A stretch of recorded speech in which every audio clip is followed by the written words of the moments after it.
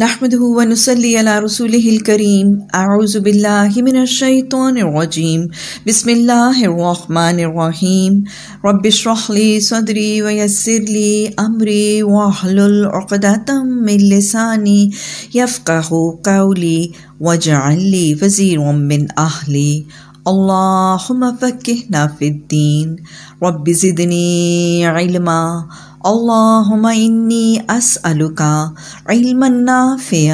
रिज़्क़न तय्यिबन व अमलन मुतक़ब्बला आमीन सुम आमीन तफसीर सूरा अशूरा मक्की सूरत है पाँच रकुआत 53 आयात और तरतीब के एतबार से 42 नंबर पर आने वाली सूरत।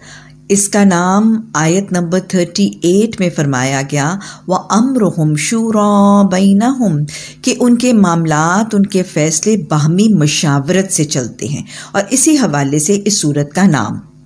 ज़माना नज़ूल अगर देखें तो सूरा हामीम असजदा का जो मुतसिल पीरियड है, उसी के बाद ये सूरत नाजिल हुई है। और मक्की पीरियड का ये वो वक्त है जब नबी सल्लल्लाहु अलैहि वसल्लम पर एतराज़ात, नुक्ता चीनी, तनकीद, मज़ाक और इस्तेजा का सिलसिला जारी है। तो इस सूरत में फिर उन एतराज़ात का जवाब दिया गया है और रसूल अलैहि वसल्लम की नबूवत और रसालत की दावत को कबूल करने की तरफ़ कायल और माइल किया गया। है। बिस्मिल्लाहिर्रहमानिर्रहीम। हामीम। आइन। सीन। कौफ। कजालिका यूही इलेका। हामीम। आइन। सीन। काफ। इसी तरह वही की गई है आपकी तरफ़ और आपसे पहले हुए रसूलों की तरफ़। अल्लाह वही करता रहा है। अगर हम देखें तो पीछे भी अल्लाह सुबहाना ताला ने अकीदाए रसालत में नबियों की बशरियत का तस्करा किया गया। कुरान में अल्लाह ने फरमाया, कुल इन्नमा अना बशरुम मिसलुकुम कि मोहम्मद सल्लल्लाहु अलैहि वसल्लम, आप लोगों से कह दें कि इसमें कोई शक और शुबा नहीं कि मैं तुम जैसा ही एक बशर हूँ। नबियों की बशरीत को मानना अकीदाए रसालत और अकीदाए नबूवत। का एक लाजमी जुज्व है। और वहाँ पर भी यही बताया गया कि एक नबी में और एक आम आदमी जो बुनियादी फ़र्क है वो ये है, यू ही इलेह का कि नबी की तरफ़, अल्लाह सुबहाना ताली की तरफ़ से अहकाम तालीमत जो हैं वो हज़रत जब्राईल के ज़रिए से वही की जाती हैं। अल्लाह हमें अपने अकायद को दुरुस्त करने और सही अकायद पर जमने की तोफ़ी कता फरमाए। आसमानों और ज़मीनों में जो कुछ है, उसी का है, वो बरतर और अजीम है। करीब है ये कि आसमान ऊपर से फट पड़े। फरिश्ते अपने रब के हमद के साथ उसकी तस्बीह कर रहे हैं और ज़मीन वालों के हक़ में दरगुजर की दरख्वास्तें किए जाते हैं। आगाह रहो, हकीकत में अल्लाह गफूर रहीम है। रब फिर वरहम व अंत खैर राहिमीन जिन लोगों ने उसको छोड़कर कुछ दूसरे सरपनस बना लिए हैं, अल्लाह ही उन पर निगरान है। तुम उनके हवालादार नहीं हो। हाँ इसी तरह, ए नबी सल्लल्लाहु अलैहि वसल्लम, ये कुरान अरबी हमने तुम्हारी तरफ़ वही किया है, ताकि तुम बस्तियों के मरकज़, कौन सा? मक्का मक्का और उसके गिरदो पेश के रहने वालों को ख़बरदार कर दो और जमा होने के दिन से डरा दो, जिसके आने में कोई शक नहीं, एक गरोह को जन्नत में जाना है। अल्लाह हमें इनमें बना देना। रब्बिबनीदा का बैतन फिल जन्ना।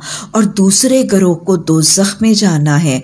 अल्लाह तजालमिन हम अल्लाह अजर ना मिनन्नार अजर ना मिनन्नार अल्लाहुम्मा अजिरना मिनन्नार अगर अल्लाह चाहता तो इन सभी को एक उम्मत बना देता, मगर वो जिसे चाहता है अपनी रहमत में दाखिल कर लेता है।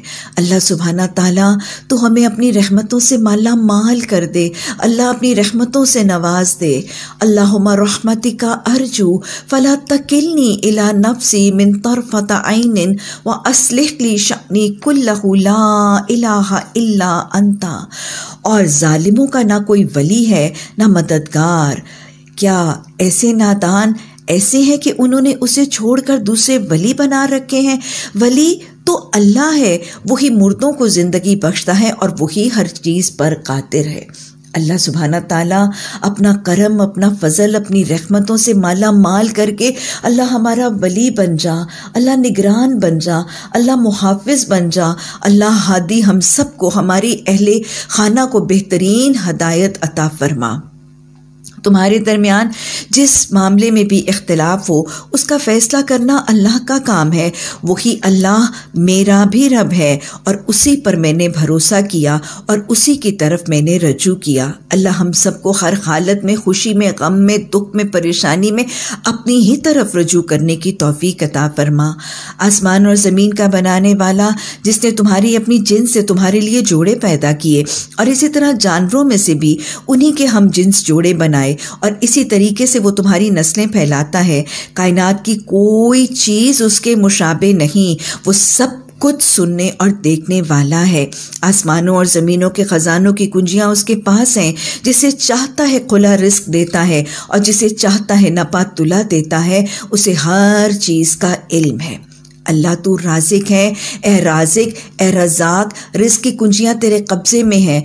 हम सबको इज़्ज़त से, आबरू से, सहूलत से रिस्क हलाल अता फरमा और इसमें तवक्ल और कनात अता फरमा।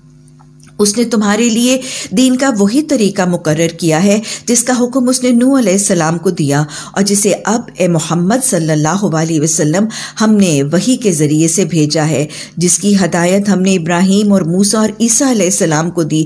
इस ताकीद के साथ कि कायम करो उस दीन को और उसमें मुतफर्रक ना हो जाओ। यही बात यही बात उन मुश्किन को सख्त नागवार हुई जिसकी तरफ़ हमने उन्हें दावत जिसकी तरफ़ तुम ए मोहम्मद सल्लल्लाहु अलैहि वसल्लम उन्हें दावत दे रहे हो। अल्लाह जिसे चाहता है पकड़ लेता है। वो अपनी तरफ़ आने का रास्ता उसी को दिखाता है जो उसकी तरफ़ रुजू करता है। अल्लाह हमें थाम ले अल्लाह हमें अपना बना ले। अल्लाह अपने ब, अपना बना के अपनी तरफ़ आने का रास्ता अता फरमा। अल्लाह हदायत अता फरमा ईमान अता फरमा उसमें इस्तकामत अता फरमा। फरमा।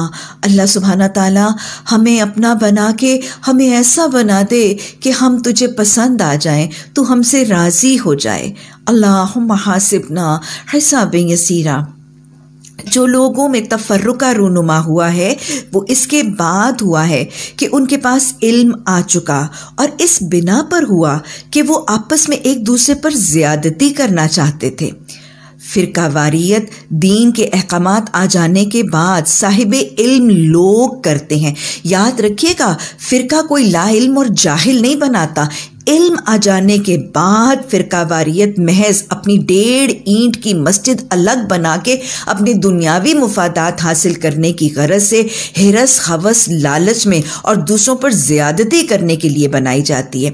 अल्लाह ने फरमाया, अगर तेरा रब पहले ही ना फरमा चुका होता कि एक वक्त मुकर तक फ़ैसला मुलतवी कर दिया जाएगा तो इनका कजिया चुका दिया गया होता किनका फ़िरके करने वालों का और फ़िरका वारियत करने वालों का। और हकीकत यह है कि अगलों के बाद जो लोग किताब के वारिस बनाए गए हैं वो उसकी तरफ़ से बड़े इसतराब अंगेज शक में पड़े हैं। फ़िरके बनते ही इसलिए हैं कि लोग कुरान और हदीस में शक व शुभात का शिकार होते हैं। तो आगे आयत नंबर पंद्रह में अल्लाह फरमा रहा है, चूँकि हालत ये पैदा हो चुकी है। क्या हालत पैदा हो चुकी है? कि अल्लाह ने हक की तालीमत, कुरान और हदीस की तालीमत नाजिल कर दी हैं। लेकिन लोग इनका इल्म आ जाने के बाद फ़िरके बना रहे हैं, ग्रोह, धड़े, लॉबीज़ बना रहे हैं तफरुका बाजी कर कर रहे हैं, जुदा जुदा हो रहे हैं। अपने ऊपर एक दूसरे के ऊपर जो है वो जुल्म और ज़्यादती करने के लिए और अपनी डेढ़ ईंट की मस्जिदें बनाने के लिए और दुनियावी मफादात हासिल करने के लिए। तो चूँकि ये फ़िरके की हालत पैदा हो चुकी है तो इस फ़िरका वारियत की हालत में नबी सल्लल्लाहु अलैहि वसल्लम और उनके तवसु से हमें भी बताया जा रहा है, इस हालत में अब क्या करो? अब तुम तुम उसी दीन की तरफ़ दावत दो।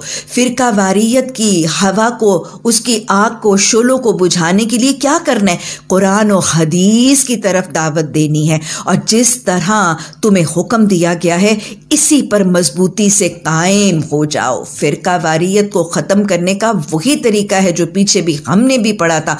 वाह तस्मू बेहबल्ला जमिया वला तफर रकू फ़िरके को ख़त्म करने के लिए अल्लाह की रस्सी को कुरान और हदीस को थाम लो और फ़िरका वारियत ना करो। और इन लोगों की ख्वाहिशात का इतबा ना करो। फ़िरके बनाने वाले, धड़े बनाने वाले, गरोहों बनाने वाले मुसलमानों की ताकतों को क़वतों को मुंतशिर करने वालों की ख्वाहिशात के पीछे ना चलो। इनसे क्या कहो? अल्लाह ने जो किताब भी नाजिल की है, उस पर मैं ईमान लाया हूँ। मुझे हुक्म दिया गया है कि मैं तुम्हारे दरमियान इंसाफ करूँ। गोया फ़िरका वारियत की हवा को ख़त्म करने के लिए कुरान और हदीस को थामना है, इसी की दावत देनी है। इसके अलावा किसी और की ख्वाहिशात की पैरवी नहीं करनी और सब के दरमियान इंसाफ करना है। याद रखिएगा फ़िरका वारियत को ख़त्म करना है हमत से डिफरेंसेस ऑफ़ ओपिनियन को हाईलाइट नहीं करना डिफरेंसेस को मैग्नीफाई नहीं करना, क्या कहना है? कहना है, अल्लाह रब्बुना व रब्बुकुम, अल्लाह हमारा भी रब है, तुम्हारा भी रब है। कॉमन पॉइंट्स को हाईलाइट करना है। बाहमी छोटे छोटे फरोई मसाइल की नुकताचीनियाँ करना, तनकीद करना, एक दूसरे के दरमियान रखने डालना, जो डिफरेंसेस हैं उनको हाईलाइट करके, उनको मैग्नीफाई करके फ़िरका वारियत को बढ़ाना नहीं है।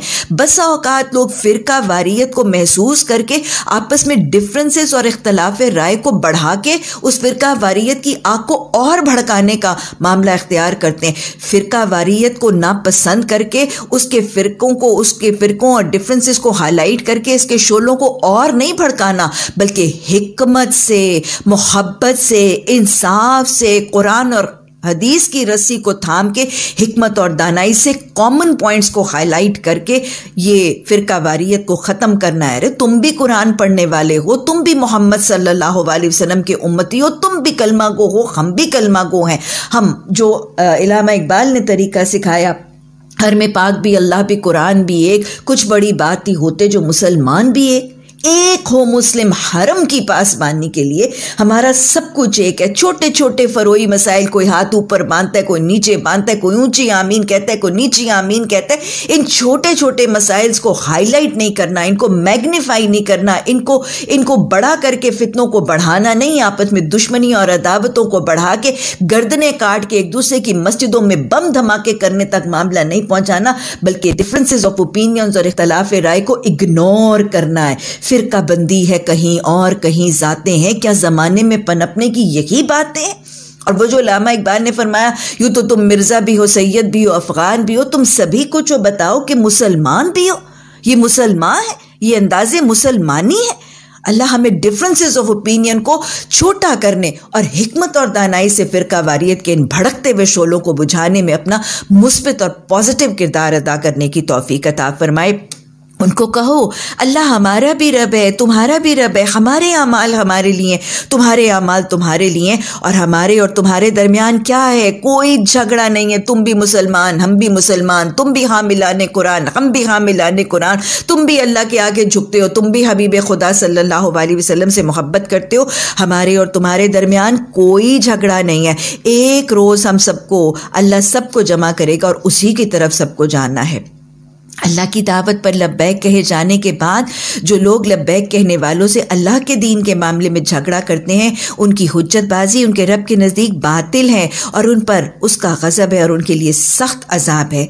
वो अल्लाह ही है जिसने हक के साथ ये किताब और मीज़ान नाजिल की। और तुम्हें क्या खबर कि फ़ैसले की घड़ी करीब आ लगी हो? जो लोग इसके आने पर ईमान नहीं रखते, वो तो उसकी जल्दी मचाते हैं और जो इस पर ईमान रखते हैं, वो उससे डरते हैं और जानते हैं कि यकीनन वो आने वाली वाली है। खूब सुन लो। जो लोग उस घड़ी के आने में शक डालने वाली बहसें करते हैं, वो गुमराही में बहुत दूर निकल गए। अल्लाह मल्ला तजाल नमिन अल्लाह अपने बंदों पर बहुत मेहरबान है, जिसे जो कुछ चाहता है देता है और वो बड़ी कुत वाला और ज़बरदस्त है। जो कोई आखरत की खेती चाहता है, उसकी खेती को हम बढ़ा देते हैं। जो दुनिया की खेती चाहता है, उसे दुनिया ही में देते हैं, मगर आखरत में उसका कोई हिस्सा नहीं। अल्लाह सुबहाना ताला हमें इस दुनिया से गनी और बेपरवाह करके फ़िक्र आखरत से आशना फरमा। रब्बना आतिना फ़िर दुनिया हसनतम व फिल आखिरत हसना वकीना अजाबन्नार। क्या ये लोग कुछ ऐसे शरीक खुदा रखते हैं जिन्होंने इनके लिए नौयत दीन रखने वाला एक ऐसा तरीका मुकर कर लिया जिसका अल्लाह ने उनको इज़्ज़त नहीं दिया? अगर फ़ैसले की ये बात तय ना हो गई होती तो उनका फ़ैसला उन उनका कजिया चुका दिया गया होता। यकीन इन ालिमों के लिए दर्दनाक अजाब है। तुम देखोगे, ये ालिम उस वक्त अपने किए के अंजाम से डर रहे होंगे और वो उन पर आके रहेगा। बखिलाफ इसके जो लोग ईमान ले आए और जिन्होंने नेक अमल किए, वो जन्नत के गुलिस्तानों में होंगे। अल्लाह इनमें बना दे, इसका हिरसता फरमा दे। वो जो कुछ भी चाहेंगे, अपने रब के यहाँ पाएँगे। कौन पाएगा? अपनी मनपसंद ज़िंदगी उसको मिलेगी जो रब पसंद ज़िंदगी गुजारेगा। जो रब पसंद ज़िंदगी गुजारेगा, उसके लिए है मनपसंद आखरत। और जो मनपसंद ज़िंदगी गुजारेगा, उसके लिए है नापसंद आखरत। यही बड़ा फजल है कि किसी को मनपसंद ज़िंदगी मिल जाए। ये है वो चीज़ जिसकी खुशखबरी अल्लाह अपने बंदों को देता है किन को जिन्होंने मान लिया है। और मान के क्या किया है? नेक अमल किए। नबी सल्लल्लाहु अलैहि वसल्लम उनसे कह दो, मैं इस काम पर तुमसे किसी अजर का तालिब नहीं। अलबत्ता, कराबत की मोहब्बत ज़रूर चाहता हूँ। जो कोई भलाई कमाएगा, हम उसके लिए भलाई में खूब इजाफा कर देंगे। बेशक अल्लाह गफूर और शकूर है। क्या ये लोग कहते हैं कि उस शख्स ने अल्लाह पर झूठ बहतान कर लिया? अल्लाह चाहे तो तुम्हारे दिलों पर मोहर कर दे, वो बातिल को मिटा देता है और हक को अपने फरमानों से हक करके दिखा देता है।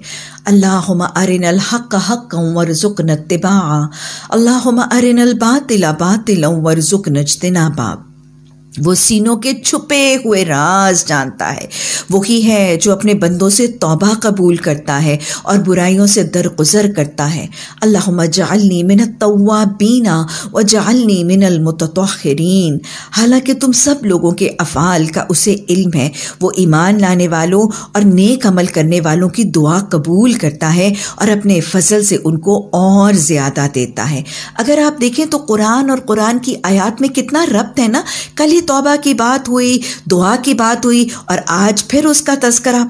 रहे इनकार करने वाले जो इनकार करते हैं तो उनके लिए दर्दनाक सज़ा है। किस चीज़ से इनकार करते हैं? तौबा करने से इनकार करते हैं। अल्लाह ने फरमाया था ना वो मल्लम या तुफ़ा उलाय का हमज़ालिमून कि मैंने तो उनके लिए तोबा का दर खुला रखा है कि आओ अपने गुनाहों की सारी बख्शिश का परवाना हासिल करो। लेकिन वो तोबा नहीं करते तो फिर वो बहुत बड़े ालिम है। और फिर जो दुआ का इनकार करते हैं, दुआ का इनकार करते हैं और रहमान रब जिस दुआ के ना मानने से रूट जाता है तो वो बहुत बड़े ालिम है। अगर अल्लाह अपने बंदों को सबको खुला रिस्क देता तो ज़मीन में तो सरकशी का तूफ़ान पैपा कर देते। वो कहते ना, अल्लाह गंजे को नाखुन नहीं देता। मगर वो एक हिसाब से, जिसे जितना चाहता है नाजिल करता है। यकीनन वो अपने बंदों से बाखबर है और उन पर निगाह रखता है। वही है जो लोगों के मायूस हो जाने के बाद मी बरसाता है और अपनी रहमत फैला देता है और वही काबिल तारीफ़ वली है। उसकी निशानियों में से है, ये ज़मीन और आसमानों की पैदाइश और जानदार मखलूक़ जो उसने दोनों जगह फैला रखी हैं। वो जब चाहे उन्हें इकट्ठा कर सकता है। तुम पर जो मुसीबत भी आती है, तुम्हारे अपने हाथों की कमाई से आती है। और वैसे सब पर नहीं आती, बहुत से कसूरों से तो वैसे ही दरगुजर कर जाता है। ये तस्वुर अल्लाह सुबहाना ताला कुरान में बहुत दफ़ा बयान करते हैं कि तकलीफ़ तुम्हारे अपने हाथों की लाई हुई है। गजवा बदर में भी गजवा अहद में भी जब मुसलमानों पर इतनी बड़ी तकलीफ़ आई थी तो उस वक़्त उन्होंने पूछा कि ये तकलीफ़ कहाँ से आई? तो अल्लाह सुबहाना तला ने उनको भी ये कहा था, साहबा कराम को अल्लाह के इतने महबूब और पसंदीदा मुजाहिदीन इस्लाम को भी कहा गया था कि ये तुम्हारी अपने हाथों की लाई हुई है। तो लिहाजा ये बात हर तकलीफ़ के आने पर शरा सदर होना ज़रूरी है कि जब तकलीफ़ आए, तकलीफ़ें इम्तिहान के पर्चे हैं, आजमाइशें हैं, अल्लाह परखता है तकलीफ़ें देकर तो हर तकलीफ़ के पर्चे को हल करने के तरीके जो हम मुख्तलिफ़ मकाम पर गाहे बगा के देखते रहे हैं तो तकलीफ़ के आने पर यह रवैया भी अपनाना लाजमन ज़रूरी है कि ये सोचा जाए कि मैंने कुछ कमी, कुछ कोताही, कुछ नाफरमानी, कुछ गुनाह, कुछ अल्लाह की नाराज़गी का काम किया, कुछ रब नापसंद काम हुआ जिससे रब नाराज़ हो गया है और उसने मुझे इस तकलीफ़ में मुबतला किया है। ये सोचने के बाद अपने गुनाहों का इतराफ़ करना, फिर अल्लाह से बख्शिश, नदामत और पशेमानी से बख्शिश और इस्तफ़ार करना, हर तकलीफ़ के आने पर बख्शिश और इस्तफ़ार का तलब करना, इसको अपना मामूल बनाना है। और दोहरा लीजिए, आप सल्लल्लाहु अलैहि वसल्लम ने फरमाया कि जो इस्तगफार को अपने लिए लाजिम करता है, अल्लाह उसको सकीना देता है। अल्लाह उसको सकीना देता है। अल्लाह उसके लिए हर मुश्किल से निकलना आसान करता है और रिस्क उसको वहाँ से देता है जहाँ से उसको उम्मीद भी नहीं होती। तो मुश्किल के आने पर सकीना के लिए, तकलीफ़ों से निकलने के लिए, रिस्क की परेशानियों के दूर होने के लिए और उस इम्तहान के पर्चे में कामयाब होने के लिए इस्तगफार को लाजिम करना है। लेकिन हमारा दीन जो है, वो एतदाल सिखाता है। दीन खौफ और उम्मीद के दरमियान चलता है। तकलीफ़ के आने पर जहाँ ये सोचना है कि ये कुछ नाराज़गी का काम हुआ है, अल्लाह नाराज़ हो गया वहाँ पर अगर ये बहुत ज़्यादा सोचेंगे तो मायूसी और नाउमीदी भी होगी। तो लिहाजा तकलीफ़ के आने पर दोनों रवैये सोचने हैं। एक तो ये कि कमी कोताही हुई, इसलिए इस्तफार करें, रूठे रब को राज़ी करें, लेकिन मायूसी से और नाउमीदी से बचने के लिए ये भी सोचना है कि ज़रूरी नहीं कि ये रब की नाराज़गी की अलामत है। ये तकलीफ़ एन मुमकिन है कि अल्लाह मुझसे राज़ी है। अल्लाह मुझे तकलीफ़ के ज़रिए आजमा कर मेरे गुनाहों को झाड़ के मुझे अपने महबूब बंदों के सफ़ में शामिल करना चाहता है। तो दोनों रवैये सोचने ज़रूरी हैं। दीन खौफ और उम्मीद के दरमियान चलता है। तुम ज़मीन में अपने खुदा को आजिज़ कर देने वाले नहीं हो। अल्लाह के मुकाबले में कोई हामी और नासिर नहीं रखते। उसकी निशानियों में से है। ये जहाज़ जो समुद्रों में पहाड़ों की तरह नज़र आते हैं। अल्लाह जब चाहे हवा को साकिन कर दे और ये ज़मीन की पीठ पर खड़े के खड़े रह जाए।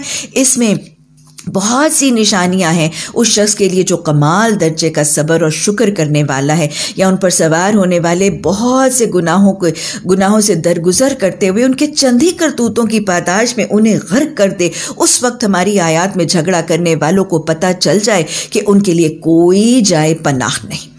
अल्लाह सुबहाना ताला जहाज़ों का तस्करा करें कि समुंदर के सीनों पर ये अल्लाह के हुक्म से चलते हैं। अल्लाह अपनी ताकत, अपनी अपनी कुत अपनी अपनी जो है वो करिश्मे और मोजात का तारुफ फरमा रहे अल्लाह के हुक्म के बगैर तो कोई कोई जहाज़ ज़मीन समुंदर के सीने पर हवाएँ चलें, जिस तरह भी चलें, मशीनरी से चलें, अल्लाह के हुक्म के बगैर नहीं चल सकते। सब चीज़ें अल्लाह के हुक्म, अल्लाह के इज़न अल्लाह की मर्ज़ी पर डिपेंडेंट इसीलिए अल्लाह सुबहाना ताला तकबर को नापसंद करता है। मुझे यहाँ पर वो एक जहाज़ का तस्करा याद आ रहा है। वो च, वो एक जहाज़ बनाया गया जिसका नाम उन्होंने टाइटैनिक रखा। एक बहुत बड़ा लग्जरी लाइनर बनाया गया और पूरे तकबर और घुमंड से उन्होंने इतना बड़ा सा वो टाइटैनिक बनाया और उसका नाम टाइटैनिक द अनसिंकेबल रख दिया कि ये तो डूब ही नहीं सकता ये तो गर्क ही नहीं होगा कोई ताकत इसको डूबो नहीं सकती। ये तकबर ही तो अल्लाह सुबहाना ताला को पसंद नहीं है। अल्लाह सुबहाना ताला के वो अल्फाज है ना कि किबरियाई मेरी रिदा है जो मुझसे मेरी रिदा छीनेगा मैं उससे इंतकाम लूँगा। ये टाइटैनिक द अनसिंकेबल जब बनाया गया तो क्या अंजाम हुआ? उसकी पहली ही, उसकी पहली ही जो उसको निकाला गया था, उसकी जो मेडन वॉइस थी, वो थोड़ी देर के बाद लॉन्च करने के बाद क्या हुआ? उसके अंदर एक रखना आ गया और एस की आवाज़ें आने लगी मेडे मेडे की कॉलें आने लगी और ये गरकाब हो गया, ये डूब गया और मुतकबरीन को कोई ना बचा सका। अल्लाह हमें आजी अता फरमा, हमें इनके सारी की तोफ़ी अता फरमा और अल्लाह तकबर को खुरज खुरज के, वो तकबर जिसका अगर राई के दाने के बराबर भी दिल में हुआ तो कोई दाखिल नहीं होगा, जन्नत में उस तकबर को निकालने की तोफ़ी अता फरमा। जो कुछ भी तुम लोगों को दिया गया है, वो महज दुनिया की चंद रोज़ा ज़िंदगी का सामान है और जो अल्लाह के यहाँ है, वो बेहतर है और पायदार है। अल्लाह उस बेहतर और पायदार का हिरस और शौक और ईमान अता फरमा। वो उन लोगों के लिए है, जन्नत का वो बेहतर और पायदार किन लोगों के लिए है? जो अपने रब पर तवक्कुल करते हैं। जन्नत के हसूल के लिए तवक्कुल ज़रूरी है। एक रूहानी इबादत है और यहाँ पर तवक्कुल करने वालों की सिफात बताई जा रही है। तवक्ल करने वालों की पहली सिफत क्या है? वल्लजीना यजता निबूना वो लोग जो इज्तनाब करते हैं, किससे? कबायर इसम बड़े बड़े गुनाहों से इज्तनाब करते तवक्ल और कबीरा गुनाहों से इज्तनाब का आपस में क्या ताल्लुक है? चोली दामन का साथ है। याद रखिएगा गुनाह करने वाले अदम तवक्कुल का शिकार होते हैं। गुनाह कोई करता क्यों है? कोई सूद खाता है, बेईमानी, धोखा, फ्रॉड, गसब, गबन करता है, रिस्क हराम कमाता है, इसीलिए तो करता है कि उसको अल्लाह पर तवक्कुल नहीं होता। उसको राजिक पर तवक्कुल नहीं होता कि अगर मैं हलाल तरीक़ों से कमाने की मेहनत और कोशिश और सही करूँगा तो वो राजिक मुझे फिर भी देगा। जिसको अल्लाह की पहचान और अल्लाह पर तवक्कुल नहीं होता ना, वही कबीरा गुनाह करता है। कबीरा गुना कौन से है? कबीरा गुना कोई एक पूरी फहरिस्त याद करना या एक फहरिस्त को समझना ज़रूरी नहीं है। अल्लाह के रसूल सल्लल्लाहु अलैहि वसल्लम ने मुख्तलिफ़ मौक़ों पर कबीरा गुनाहों की फहरिस्त बताई और तस्करा की है। एक हदीस में आपने फरमाया, क्या मैं तुम्हें बड़े बड़े गुनाहों की फहरिस्त ना बता दूँ? आपने फरमाया लशरा को बिल्ला, अल्लाह का अल्लाह को शरीक करना, वालदेन को सताना अल्लाह ने सबसे बड़े गुनाहों की फहरिस्त में नबी सल्लल्लाहु अलैहि वसल्लम ने बताया ना कि वालदेन को सताना, अल्लाह के साथ शरीक करना और फिर अल्लाह के रसूल सल्लल्लाहु अलैहि वसल्लम ने फरमाया, कौल जूर कौल जूर शहादत जूर झूठी बात झूठी बात और झूठी गवाही। इसी तरह आपने एक जगह फरमाया, क्या मैं तुम्हें हराम करता गुनाहों की फहरिस्त ना बता दूँ? ये सब कबीरा गुनाह है। आपने फरमाया, अल्लाह के साथ किसी को शरीक करना, माओ को सताना, बेटियों को ज़िंदा दरगोर करना, बेकार की ला यानी गुफ्तगु करना और हिरस और बुखल करना। तो मुख्तलिफ़ मौक़ों पर कबीरा गुना मुख्तलिफ़ बताए गए हैं, लेकिन मैं आपको पाँच पैमाने बता देती हूँ। इस पर अगर कोई चीज़ अल्फाज कुरान में और हदीस में ये पाँच पैमाने अगर आ जाएँ तो वो गुनाह कबीरा गुनाह है। जब किसी अमल पर जहन्नुम की वईद दे दी जाए, किसी गुनाह को अल्लाह हराम अमल, किसी अमल के लिए अल्लाह हराम कह दे, किसी अमल के लिए तिल का हदूदुल्ला उसको अल्लाह की हदें कहा जाए, किसी अमल पर अल्लाह के कुरान और हदीस में लानत के अल्फाज हों और यहाँ कुरान हदीस में ये अल्फाज आ जाए कि अल्लाह इस काम के करने वाले की तरफ़ ना देखेगा, ना बात करेगा, ना गुनाहों से पाक करेगा। तो ये पाँच बातें, जहन्नुम हदूदुल्ला हराम, लानत और अल्लाह का ये कहना कि अल्लाह ना देखेगा, ना बात करेगा, ना गुनाहों से पाक करेगा तो वो अमल कबीरा गुनाह हो जाता है। इनमें से कोई एक चीज़ भी आ जाए। भरोसा करने वालों की तवक्ल करने वालों की पहली सिर्फ़ तो ये कि वो बड़े बड़े गुनाहों से बचते हैं, फिर वो बेहयाई के कामों से भी परहेज करते हैं। और अगर गुस्सा आ जाए तो माफ़ दरगुजर कर देते हैं। गुस्सा आने पर माफ़ करना और इंतकाम ना लेने का भी तवक्ल के साथ बहुत गहरा ताल्लुक है।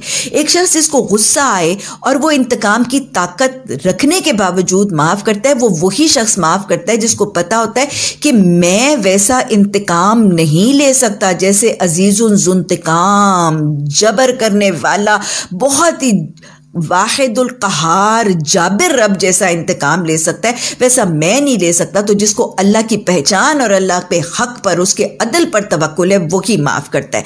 जो अपने रब का हुक्म मानते, अल्लाह की अतात भी वही कर सकता है। जिसको पता है कि अल्लाह की अतात और बंदगी करते हुए जिसमानी, माली, रूहानी सोशल साइकोलॉजिकल इकनॉमिकल प्रॉब्लम्स जो प्रॉब्लम्स जो आनी है, वो अल्लाह है ना? हसबी अल्लाह, हसबुन अल्लाह, वो तवक्ल करता है तो अल्लाह की अतात करता है। फिर वो नमाज़ कायम करते हैं। नमाज़ का भी तवक्ल के साथ साथ ताल्लुक़ है। आज जो सारी की सारियाँ नमाज़ की अदम अदायगियाँ हैं और जो बाजमात नमाज़ की कोताहियाँ हैं, उसकी वजह यही है ना कि कारोबार हैं बिजनेसेस हैं ट्रेड्स हैं सेमिनार्स हैं कॉन्फ्रेंसेज हैं ट्यूशन सेंटर्स में क्लासेस चल रही हैं, जिनको अल्लाह पर तवक्ल है, वो इन तमाम अवकात में भी नमाज़ कायम करते हैं और अपने मामला आपस के मशावरत से चलाते हैं। हमने जो कुछ भी रिस्क उन्हें दिया है, वही खर्च, वो उसको खर्च करते हैं।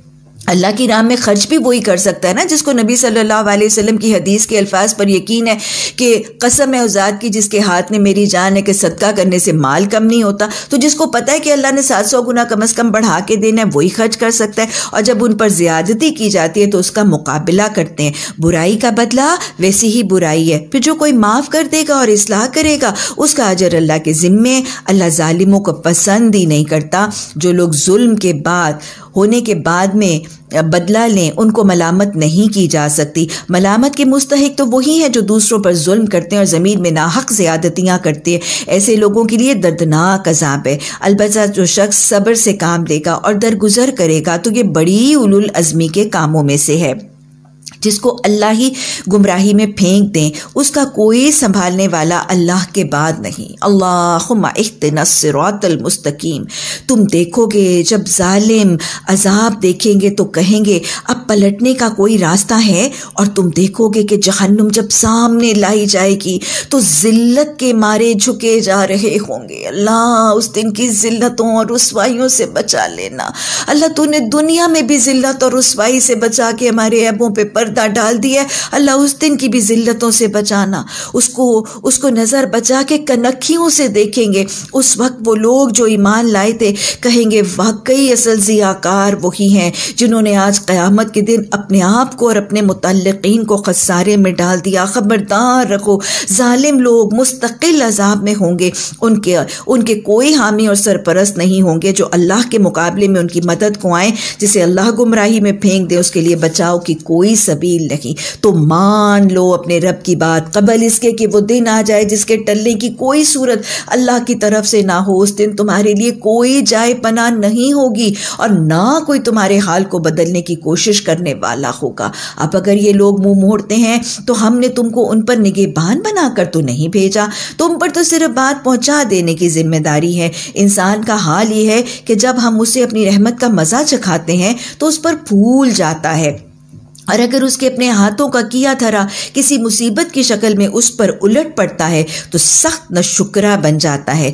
अल्लाह ज़मीन और आसमानों की बादशाही का मालिक है, जो कुछ चाहता है पैदा करता है। जिसे चाहता है लड़कियाँ देता है, जिसे चाहता है लड़के देता है। जिसे चाहता है लड़के लड़कियाँ मिला जुला कर देता है, और जिसे चाहता है बांझ कर देता है। वो सब कुछ जानता और हर चीज़ पर कातिर है।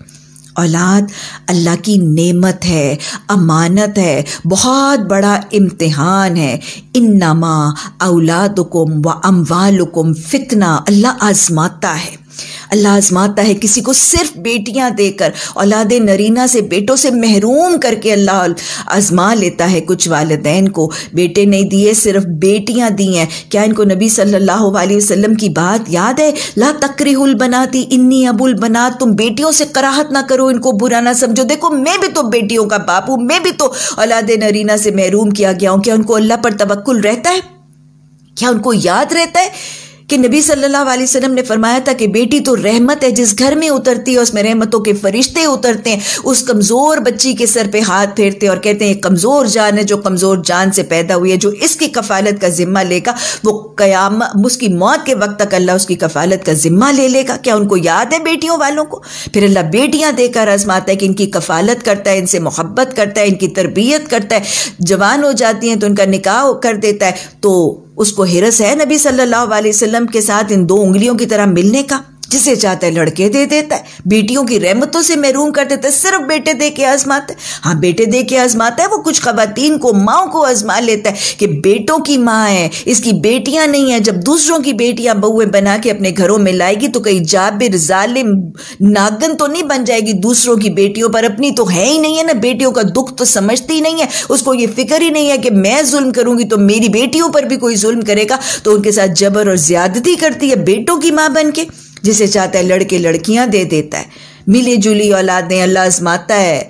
अल्लाह आजमाता है कि दोनों बेटे बेटियाँ, हदीस ने इनको बताया है कि जिसको अल्लाह बेटे और बेटियों दोनों से आजमाते हैं और वो बेटों को बेटियों पर तरजीह नहीं देता। तो कहीं ये बेटों को बेटियों पर तरजीह तो नहीं देने लगा और जिसे चाहता है बांझ कर देता है। ला औलाद होना बहुत बड़ी आजमाइश है। लेकिन याद रखिएगा, अल्लाह सुबहाना ताली हकीम और उसके फैसलों में हमत और खैर ज़रूर कार फरमा होती है।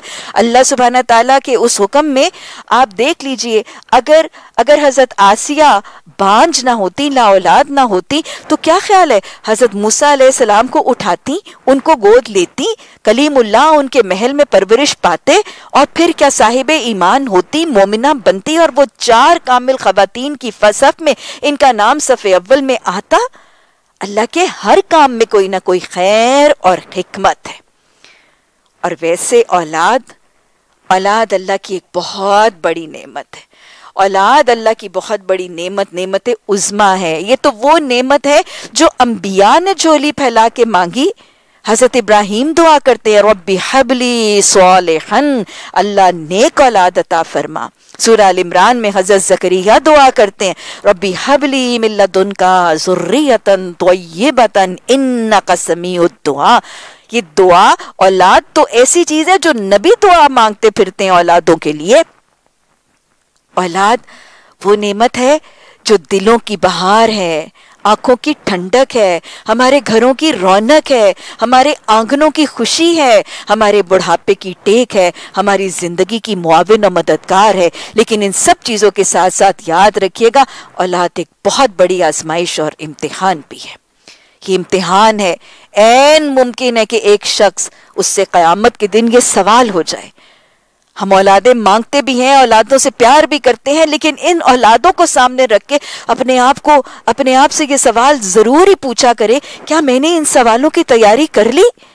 कयामत के दिन अगर अल्लाह सुबहाना ताला के हजूर ये सवाल हो गया कि मैंने तुम्हारी गोद में सखी सालिम तंदुरुस्त आजाब वाले उम्मत रसूल वसल्लम के अफराद डाले थे, बताओ बताओ क्या तुमने इनको दुनियादार बनाया? या दीनदार भी बनाया? बताओ, क्या तुमने इनको सिर्फ़ अपना फर्मा बरदार और अतात गुजार बनाया या अल्लाह का फर्मा बरदार और अतात गुजार बनाया? बताओ, क्या तुमने इनको अपना और अपने अहले खाना का खिदमत गुजार बनाया या अल्लाह के दीन या अल्लाह के बंदों का खिदमत गुजार बनाया? तो क्या मैंने और आपने सवाल तैयार कर लिए? अल्लाह महासिबना हिसाब अल्लाह इस इस इतने बड़े और मुश्किल इम्तिहान के पर्चे में हमारी मदद और रहनुमाई फरमा। हमारे लिए आसानियाँ फरमा। औलाद और औलाद की तरबियत और हकूक के हवाले से अगर मैं जामे से कुछ बात करूँ, क्योंकि ये बहुत अहम है, औलाद के होने पर क्या करना है, उनके क्या हकूक है, वालदेन के क्या फ़राइज है, हमारे करने के क्या अंदाज होने चाहिए? हमल में सबर। सबर, शुक्र, ज़िक्र हमल में कायम रखें। वज़ाय हमल में भी सबर, शुक्र ज़िक्र, दुआएँ इस मौक़ों पे कबूल होती हैं।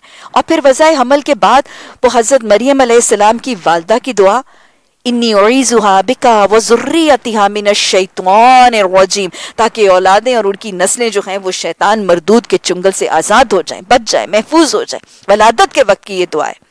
सुराल इमरान में ये बात हुई।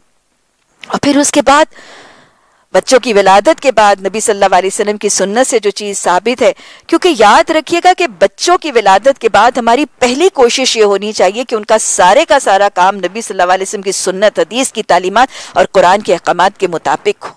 वो जो तोहफा अल्लाह ने हमें दे दिया, अब उस अल्लाह की नेमत की अमली शुक्र के लिए हम उसको रब पसंद ज़िंदगी की तरफ़ माइल गाएँगे और रब पसंद तरीके से उसके सारे मामला करेंगे।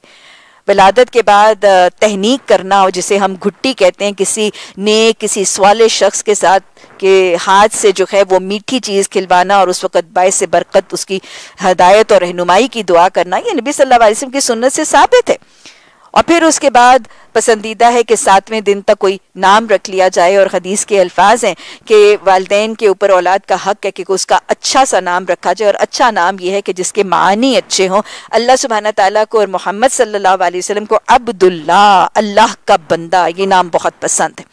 और फिर उसके बाद सातवें दिन के करने के काम जो हैं, उसका सर मुंडवाया जाता है और बालों के वज़न के बराबर चांदी जो है, उसको सदका खैरात किया जाता है, उसका अकीका किया जाता है। अकीके के हवाले से सातवें दिन में सुन्नत है। ये एक मेंढा है। नबी सल्लल्लाहु अलैहि वसल्लम ने अपने दोनों नवासों के लिए भी जब किया तो एक मेंढा कुर्बान किया था। लड़के के लिए दो और लड़की के लिए एक मेंढे का तस्वर अकीके में नहीं है।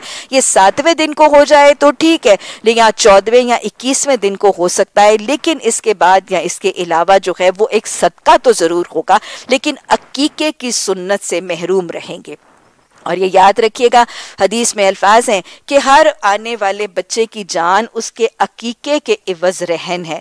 और ये भी हदीस ही का मफहम है कि अकीका, ये जो सदका बकरे की शक्ल में किया जाता है, ये जच्चा और बच्चा, यानी माँ और बच्चा जिस तकलीफ़ में से गुजरा है और जिस खतरनाक मरहले में से गुजरा है, उसके लिए सदका है।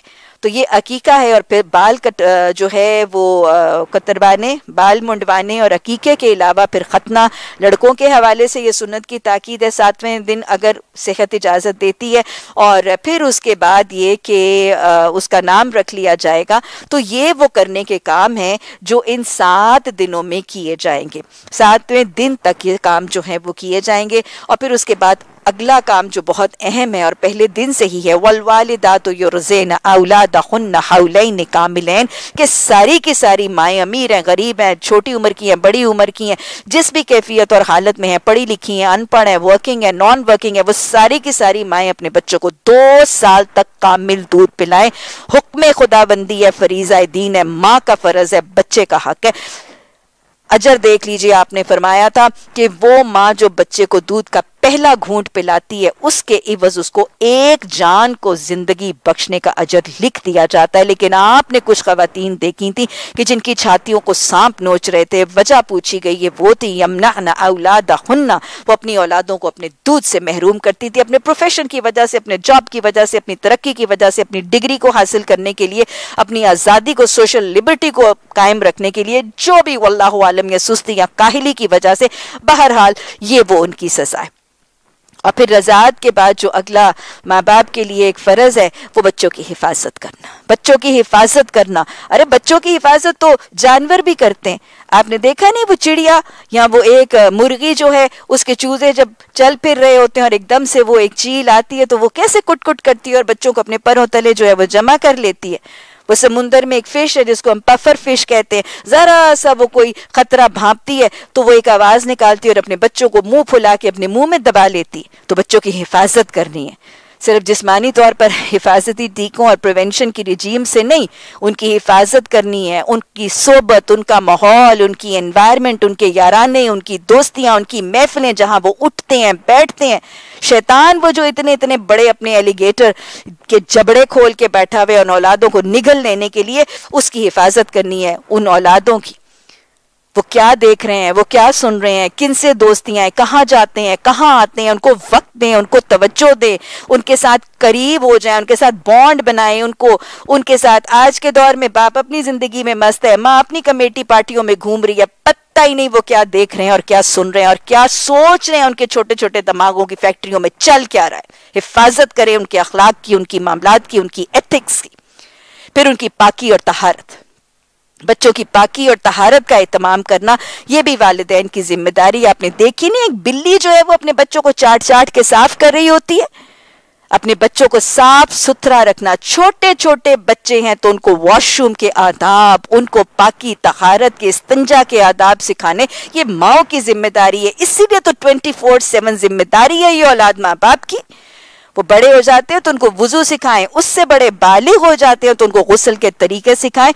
और मैं आपको बताऊँ कि मैंने बहुत से लोगों को ये देखा है कि बेटा बालिग हो जाता है तो उसको गुसल का तरीका ही नहीं बताया जाता। बस औकात माओ को, बापों को शर्म आ रही होती है, हया आ रही होती है। याद रखिएगा, शरा के मामला में कोई शर्म नहीं है। और फिर हमारे माल्टे, माशरे का ना सब कुछ ही उलट है। जिन चीज़ों पे शर्म और हया आनी चाहिए, उस पर हया आती नहीं है। लाउंजेस में बैठ के टीवी ड्रामे और किस्से, वो फजूल किस्म की फ़िल्में और नाच गाना इकट्ठे बैठ के देखते हुए शर्म आती नहीं है। इश्क आशकी की फ़िल्में देखते हुए शर्म आती नहीं है और इन बातों को खोल के बयान करते हुए शर्म आ जाती है। तो उनको पाकी के तहारत के ये सारे तरीके सिखाना वालदेन की ज़िम्मेदारी। और फिर उनको इल्म दे। क्योंकि हदीस के अल्फाज हैं कि बेहतरीन तोहफा जो वालदेन अपने औलाद को दे सकते हैं, वो इल्म है। और उस इल्म में से सबसे पहला इल्म अल्लाह की पहचान। अल्लाह की पहचान, उसकी ज़ात, उसकी सिफात, उसकी वहदानियत के शक्ल में उसकी पहचान करवाएँ, अल्लाह की मोहब्बत डालें उनके दिलों में। अल्लाह को बतौर अपना मोहसिन मानने का उनको जहन उनकी तरफ़ कायल करें। और फिर हबीब खुदा सल्लल्लाहु अलैहि वसल्लम की मोहब्बत। उनकी मोहब्बत, उनकी अकीदत, उनका अदब, उनका एहतराम और इन तमाम चीज़ों के साथ मोहम्मद सल्लल्लाहु अलैहि वसल्लम की सुन्नतों का इत्तबा सिखाएँ औलादों। इत्तबा सुन्नत जो है वो सिखाएँ औलादों को। छोटी छोटी जो सुन्नतें हैं, खाने की, पीने की, सोने की, जागने की वॉशरूम जाने की माँ बच्चे के साथ है, वो वॉशरूम जा रहे हाथ पकड़ ले, नहीं बेटा, पहले उल्टा पाँव अंदर रखना है, ये दुआ पढ़नी है, फिर इधर ये पाँव रखना है।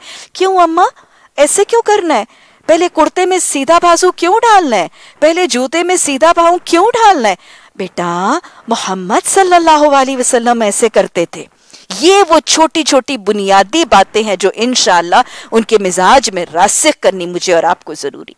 और मैं तो कई दफ़ा इसकी मिसाल ऐसे देती हूँ कि इट इज़ जस्ट लाइक जैसे बच्चे को हम मॉन्टेसरी के अंदर एबीसी सिखाते हैं ना, और कुछ ही सालों के अंदर वो एबीसी पढ़ने और लिखने वाला बच्चा जो मुश्किल से वो पहले लिखता और पढ़ता है, थोड़ी देर, कुछ सालों के बाद वो बड़ी बड़ी कॉम्प्रीहेंशन समझता है, लिखता है और एसेज लिखने के काबिल हो जाता है। वन टू थ्री लिखने वाला थोड़े ही सालों में बड़े बड़े ट्रिग्नोमेट्री के और लॉगरिदम्स के सवाल करने वाला हो जाता है। इनशाला हम उनकी ज़िंदगी में ये छोटी छोटी सुन्नतें राइज करेंगे। तो जब वो बालिग और जवान होंगे तो बड़ी बड़ी सुन्नतें भी आहिस्ता आहिस्ता नहीं, बड़ी आसानी से उनकी ज़िंदगी में राइज हो जाएँगी। और फिर इसके साथ उनको सहाबा कराम का तारुफ करवाएँ। अनमता अलहिम की दुआएँ जो मांगते हैं, अनमता अलहिम की जिंदगियों का तारुफ करवाएँ, उनको किस्से सुनाएँ, उनको कहानियाँ सुनाएँ। अरे, जिंदगियाँ गुजर गई बच्चों को बेड टाइम स्टोरी सुनाते हुए एसप्स फेबल सुनाते हुए, सब निकाल दीजिए, खलास। वो सिंड्रेला वो स्नो वाइट वो रिपुंजल वो पता नहीं कहाँ कहाँ की कहानियाँ, वो सब निकाल दीजिए बच्चों की ज़िंदगी में से। उनको हज़रत उम्मे सुलैम की, हज़रत अनस की, हज़रत उम्मे अमारा की रुदा दें हज़रत इस्मा बिनते बकर की रुदा दें हज़रत सफिया की रुदा दें सुनाए, उनको महातुल मोमिनीन के किस्से सुनाए। ताकि वो जो इलामा इकबाल ने फरमाया ना, कभी ये नौजवान मुस्लिम तदपुर भी किया तूने? वो क्या कर दो था जिसका तू है, एक टूटा हुआ तारा? तुझे उस कौम ने पाला है आगोश मोहब्बत में कुचल डाला था जिसने पाँव में ताजे सरे दारा। उस कौम का इस्लाम की तारीख मुस्लिम हीरो का तारुफ करवाएँ, ताकि हमें इस्लाम पर फख्र करना आए, पिछले मुसलमानों और अपने इस्लाफ पर फख्र करना आए। ये सिखा दीजिए उनको, घुट्टी में डाल दीजिए उनके इन सब की मोहब्बत और इनकी पहचान, और फिर कुरान की तालीम। सूरा बकरा में अल्लाह ने फरमाया है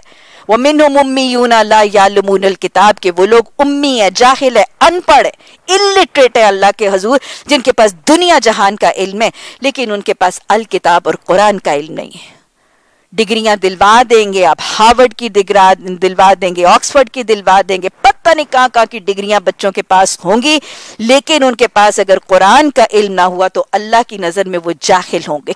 कितना माल वक्त, सलाहियतें दुनिया का इल्म हासिल करने के लिए लगा देते हैं, लेकिन उसका अशर नशीर और उसका एक फ़ीसद भी दीन और कुरान का इल्म हासिल करने के लिए नहीं लगाते, जाहिल रहेंगे। और याद रखिएगा, वो सिर्फ़ जाहिल ही नहीं, उनको दुनिया की डिग्रियाँ और इल्म जो है, वो रब पसंद तरीके और जन्नत के हसूल के लिए इस्तेमाल करना नहीं आएगा। ज़िंदगी के 25 25 30 30 साल दुनियावी अलूम के हसूल के लिए लगा देते हैं, खपा देते हैं ज़िंदगी का एक साल लगा दीजिए कुरान और हदीस को समझने के लिए। एक साल नहीं लगा सकती तो साल में एक महीना लगा दीजिए रमज़ान का इस कुरान को समझने के लिए।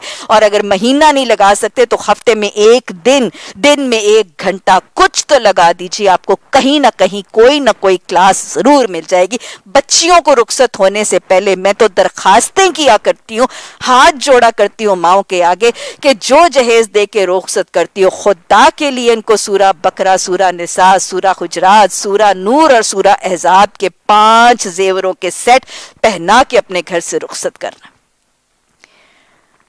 और फिर इसके साथ अपने बच्चों से मोहब्बत करें, मोहब्बत का इजहार करें। आपने फरमाया, जिससे मोहब्बत करते हो, उसे बताओ कि तुम मोहब्बत करते हो। बच्चे बहुत नाजुक हैं, बहुत कमज़ोर हैं। उनसे मोहब्बत की exhibition and demonstration of love ज़रूरी है। अल्लाह के रसूल सल्लल्लाहु अलैहि वसल्लम बच्चों से इस तरह इजहार मोहब्बत करते हज़रत फातिमा रज़ी अल्लाह तह इतनी बड़ी हो गई थी, तशरीफ़ लाती थी, उठ जाते थे, हाथ पे बुस्सा देते थे, पेशानी पे बुस्सा देते थे, अपनी चादर डाल के अपने, अपनी जगह पे बिठा लेते थे, सफ़र से वापस आते हैं, मस्जिद नबी में दो नफल पढ़ते हैं और फिर हज़रत फातिमा रज़ी अल्लाह तह के घर तशरीफ़ ले जाते हैं। हज़रत जैनब की बेटी हैं, छोटी सी नवासी हैं। आप उठा लेते थे, नफल नमाज़ पढ़ रहे हैं, रकू में है तो क्याम में तो नवासी को उठा लेते थे। रकू और सजूद में जाने से पहले फिर नीचे बिठा देते थे और फिर उठा लेते थे। हार आया, आपने फरमाया, उसको दूँगा जो सबसे महबूब है, अपनी नवासी को पहना दिया मोहब्बत है, मोहब्बत का इजहार है, मोहब्बत का तस्करा है। लविंग वर्ड्स हैं लविंग एग्जिबिशन हैं लविंग जेस्टर्स हैं, और वो नवासे उनको तो गोद में बिठाया हुआ बेटी से क्या मोहब्बत है जो नवासों से मोहब्बत है? गोद में बिठाया हुआ सर पे हाथ फेर रहे हैं, बालों की खुशबू सूंघ रहे हैं, चेहरा चूमते जा रहे हैं और फरमा रहे हैं, हाथ उठा के दुआ कर रहे लाही मैं इनसे मोहब्बत करता हूँ, तू भी इनसे मोहब्बत कर। अल्लाह हमारे प्यारे नवासे नवासियों, पोते पोतियों से भी तू मोहब्बत फरमा। बाहर निकले और हज़रत हसन और हुसैन सवारी बनाई हुई, उनको अपने कंधे पे बिठाया हुआ अपने नवासे को और अपने कंधे पे बिठा के सवारी कर रहे हैं। मदीना की गली में कोई एक शख्स आता है और साथ साथ टांगों पे प्यार से हाथ फेर रहे हैं और शफकत का इजहार कर रहे हैं। कोई शख्स आते और रश करके कहता है, वाह, क्या खूब सवारी है। रहमतुल्लामीन के कंधे पे बैठा हुआ शह सवार, क्या खूबसूरत सवारी है। आप बड़ी मोहब्बत से फरमाते हैं, सवार भी तो देखो क्या शान का है। हाँ जन्नत के जवानों का सरदार बनेगा ना, कि मोहब्बत है, ये शफकत है। आप सजदे में जाते थे तो नवाज़ से कमर पे चढ़ जाते थे, आप सजदे से उठते नहीं थे जब तक, हटते नहीं थे। इतनी मोहब्बत का इजहार है कि एक बद्दू बैठा हुआ था, पास आए, आप बच्चों के साथ शफकत का इजहार कर रहे थे और मोहब्बत का इजहार कर रहे थे। और उस बद्दू ने हैरान होकर कहा कि, या रसूल सल्लल्लाहु अलैहि वसल्लम, मेरे तो बहुत से बच्चे हैं, मैं तो उनके साथ ऐसे प्यार नहीं करता। आपने फरमाया, अगर अल्लाह ने तुम्हारे दिल से रहम को सल्ब कर लिया तो फिर हम क्या करें? मोहब्बत करें, मोहब्बत का इजहार करें, लेकिन औलादों में अदल करें, इंसाफ करें, अदल करें। बेटों को बेटियों पर तरजीह नहीं दी जाएगी। उनके साथ बराबरी होगी, उनके साथ तरजीह नहीं दी जाएगी, लेकिन आज मैं देखती हूँ हमारे इलीटिश तबके के अंदर ना वो बेटों और बेटियों की तरजीह का मामला भी कुछ अदल का एक भोंडा सा बन गया है। आज उस बराबरी के चक्कर में बेटी जो है ना वो निगाहें मिला के माँ के साथ जो है वो अकड़ के कहती है क्यों? मैं भाई के साथ क्यों नहीं बराबरी कर सकती? भाई जो है वो रात को दस बजे तक बाहर रह सकता है मैं क्यों नहीं रह सकती? भाई जीन पहन सकता है मैं क्यों नहीं पहन सकती? भाई दोस्तों के साथ घूम सकता है मैं क्यों नहीं घूम सकती? भाई अमेरिका पढ़ने जा सकता है मैं क्यों नहीं घूम सक, जा सकती? ये अदल नहीं है। उसको समझाना है, अदल हमारी मोहब्बत में होगा, तवज्जो में होगा, हमारी तरबियत में होगा, हमारे इजहार में होगा। लेकिन अदल इन चीज़ों में नहीं है, उसका दायरा कार फ़र्क है, इसका दायरा कार फ़र्क है, उसकी, उसका मिजाज, उसकी साख्त, उसकी हैत सब कुछ फ़र्क है। ये अदल का तकाजा नहीं है। और फिर बेटियों और बहुओं में अदल करें, अपने बेटों और दामादों में अदल करें, बेटी और दामाद में अदल करें, बेटे और बहू में अदल करें, ये अदल बहुत ज़रूरी है। अदल बहुत ज़रूरी है घर के अमन के लिए। और फिर इस मोहब्बत में आके बेजा लाड प्यार से औलादों को बिगाड़ना भी नहीं है। आज हमारे माशरे में वो बेजा लाड प्यार का भी अंदाज है। वो born with golden spoon in their mouth वो मुँह से बाद में निकालते हैं और वो फरमाइश पहले हम पूरी कर देते। हमें ये भी कॉम्प्लेक्सेस हो गए हैं। हमें ये भी इनहिबिशन हो गई हैं कि अगर इनकी ख्वाहिशात को पूरा नहीं किया तो पता नहीं ये कॉम्प्लेक्स ना हो जाए, इनकी पर्सनैलिटी का कॉन्फिडेंस ना शैटर हो जाए। क्या कॉन्फिडेंस फातिमा रज़ी अल्लाह तला का शैटर हो गया था? नबी सल्लल्लाहु अलैहि वसल्लम ने बेजालाड प्यार नहीं किया था, हाथ से काम का दरस दिया था, मेहनत की अजमत का पैगाम दिया था। किसी मालदार के घर में नहीं, अली इल्म का दरवाज़ा है, उनके घर में ब्याह था और कह दिया था, फातिमा, मैंने अपने घर के बेहतरीन मर्द से तेरा निकाह किया है। रुखसती में मेले ठेले, बाजे ताशे, तमाशे, ढोल, कोई चीज़ नहीं थी, ना जहेज था सामान दिया था, वो मेहर फातिमा में से था और सामान दे के कह दिया था, जा बेटी, अपने घर में कुर्ब इलाही का नुस्खा मशकीजे में पानी ढोती रहना, चक्की में आटा पीसती रहना, चूल्हे में झूला झोंकती रहना। लौंडी मांगने के लिए आई थी तो तस्बी सिखा के कुर्ब इलाही का नुस्खा दे के भेज दिया था, बेजा लाड प्यार नहीं करना है। हज़रत फातिमा रज़ी अल्लाह तहा ने अपने घर में वो चादर तस्वीर वाली लटका ली थी, दरवाजे पर आप सल्लल्लाहु मिले बगैर वापस लौट गए थे। मोहब्बत है, लेकिन मोहब्बत का तकाजा कुम व अहलीकुम नारा। उनको जहन्नम की आग से बचाना है, उनको नमाज़ का हुक्म दें, उनको ज़क़़त की तरबियत दें, उनको इबादत और कुरान की तरबियत दें, उनको जाकिर और शाकिर बनने का पैगाम दें। और फिर बच्चे जब बालिग हो जाएँ तो उनका निकाह कर दीजिए। निकाह में ताखीर मत कीजिए। दीन और अखलाक का जिसका मामला अच्छा उस निकाह के पैगाम को कबूल कर लें। सुन्नत रसूल सल्लल्लाहु अलैहि वसल्लम के मुताबिक अपने निकाह के रसूमात को अदा कर लें। ये फौजल अजीमा होगा। और फिर अपने बच्चों को वरासत के मामला और शरीयत की जो तकसीम है, वो वरासत के अहकाम के मुताबिक करें। फौत होने से पहले वसा इब्राहिम बनी ही व याकूब। वसीयतें भी उनको हक पर जमने, इस्लाम पर जमने, दीन पर रहने की वसीयतें करके रुखसत हो। रबना हबलना मिन अज़वाजिना व ज़ुर्रियतिना क़ुर्रत आयुन वजअलना लिलमुत्तकीना इमामा। अल्लाह सुबहाना ताला हमें अपने वालदेन के लिए और हमारी औलादों को हमारे लिए आँखों की ठंडक, दिलों का बहार और अल्लाह सुबहाना ताला सदका जारिया बना देना। अल्लाह हमारी मदद फरमा। अल्लाह हम माए हमारी मदद फरमा, हमारी रहनुमाई फरमा। अल्लाह हमें गाइड कर दे कि हम इन बच्चों की तरबियतें करने वालियाँ बन जाएँ। अल्लाह हमारी बातों में तासीर अता फरमा। अल्लाह हमारी बातों को, अल्लाह हमारी बातों को कायल और माइल करने वाला बना। अल्लाह दिलों को बदल दे। अल्लाह सोचों को बदल दे। अल्लाह रवैयों और तरजीहात और फिक्रों और खुशियों और गमों के पैमानों को बदल दे। अल्लाह हमें और हमारी औलादों को ऐसा बना दे, ऐसा बना दे कि हम तुझे पसंद आ जाएँ। अल्लाह हमारी और हमारी औलादों के दीन, ईमान, इस्लाम, इज्जतों रिस्क हया, आबरुओं की हिफाजत फरमा। अल्लाह सुबहाना ताला ने फरमाया कि किसी बशर का ये मकाम नहीं है कि अल्लाह उससे रूबरू बात करे। उसकी बात तो वही के इशारे के तौर पर होती है, या पर्दे के पीछे से, या फिर वो कोई पैगाम पर फरिश्ता भेजता है, और वो उसके हुक्म से जो कुछ वो चाहता है, वही करता है, वो बरतर और हकीम है। इसी तरह मोहम्मद सल्लल्लाहु अलैहि वसल्लम, हम अपने हुक्म से एक रूह तुम्हारी तरफ़ वही कर रहे हैं। तुम्हें कुछ पता नहीं था कि किताब क्या होती है, आप कोई मुंतजर तो नहीं थे ना? और ईमान क्या होता है? मगर इस रूह को हमने एक रोशनी बना दिया है, जिससे हम राह रास्त दिखाते हैं अपने बंदों में से, जिसे चाहते हैं।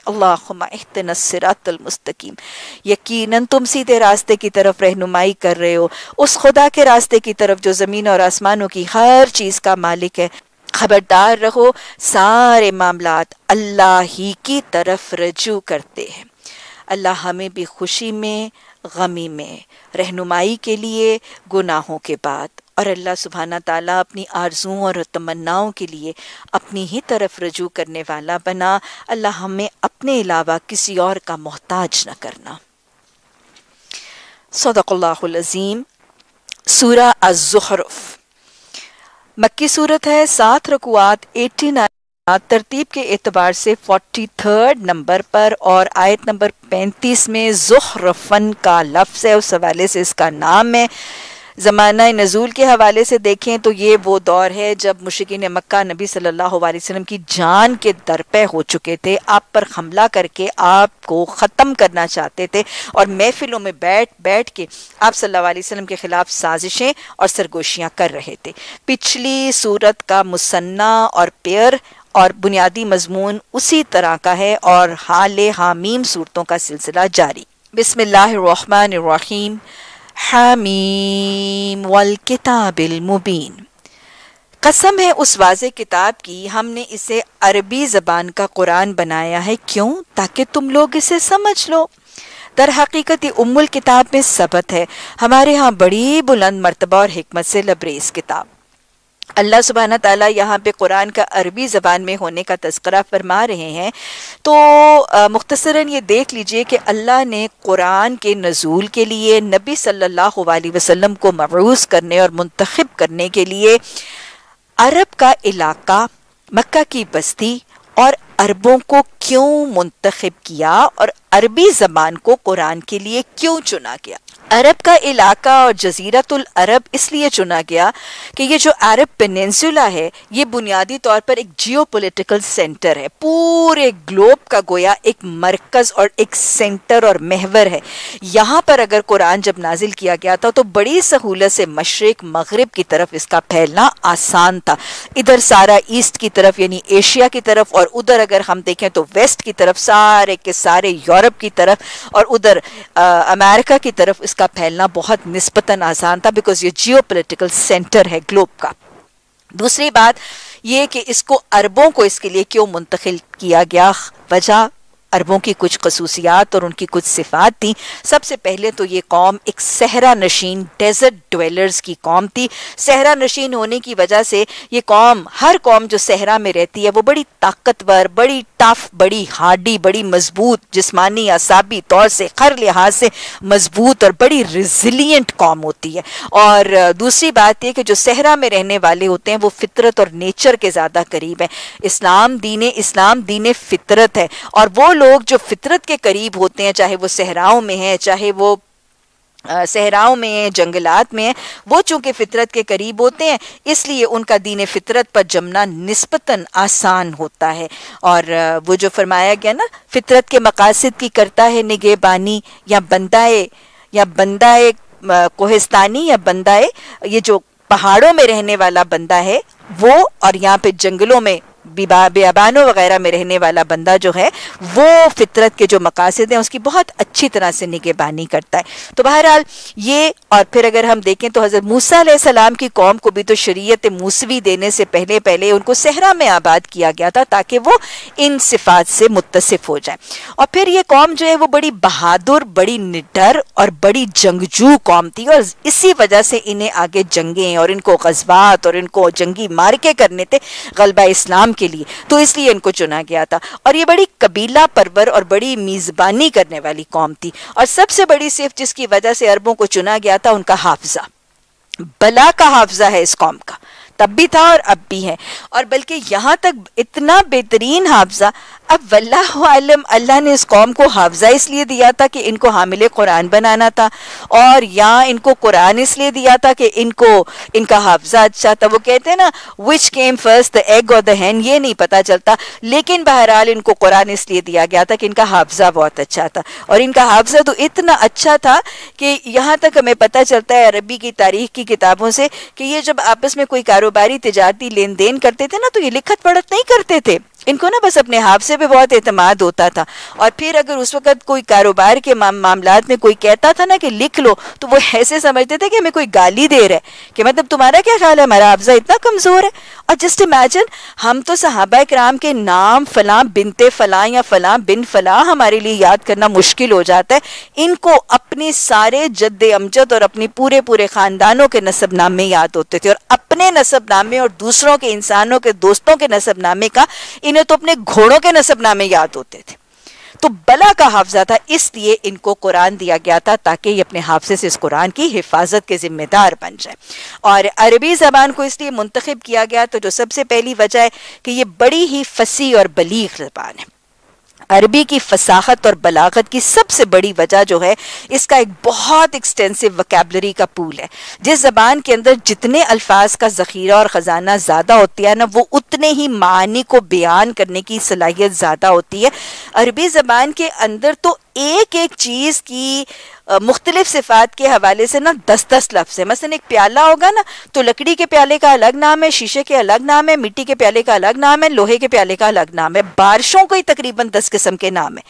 तो ये बहुत फसी और बलीग है और मानी को समझाने की जो ताकत और सलाहियत अरबी ज़बान में है ना, वो और किसी ज़बान में नहीं है। और दूसरी बात यह कि अरबी ज़बान में इसी सिफ्त के साथ साथ एक और ख़ासा भी है कि जामयत से बात करना। वो जिसे कहते हैं ना, एक एक समुंदर को एक कूजे में बंद करना, कि एक बिल्कुल छोटी सी बात के अंदर बहुत वसीम मफहम को समो लेना, ये सलाहियत भी सिर्फ़ अरबी ज़बान में तमाम ज़बानों से ज़्यादा अरूज पर नज़र आती है।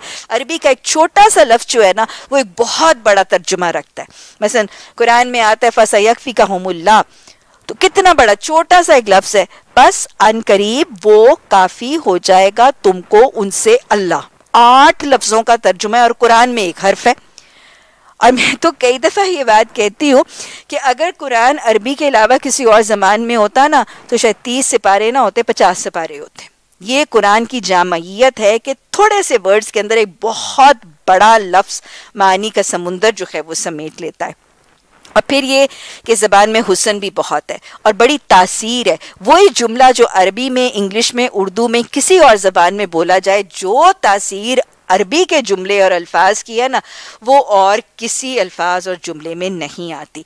तो लिहाजा ये कुछ वजूहत हैं जिसकी वजह से इसको अरबी ज़बान में। और फिर जो ज़ाहिर है, सबसे बड़ी वजह है अल्लाह कुरान में भी कहता है कि अगर कुरान अरबी के अलावा किसी और ज़बान में होता तो वो क्या कहते कि ये अजीब सा कलाम है कि मुखातिब अरबी है और ज़बान अजमी है। तो लिहाजा चूँकि मुखातिब अरबी थे, इसलिए कुरान को अरबी में नाजिल किया गया। अल्लाह फरमा रहे अब क्या? हम तुमसे बेजार होकर, किन से? यानी वो मुश्किन मक्का जो अब तक मान ही नहीं रहे थे।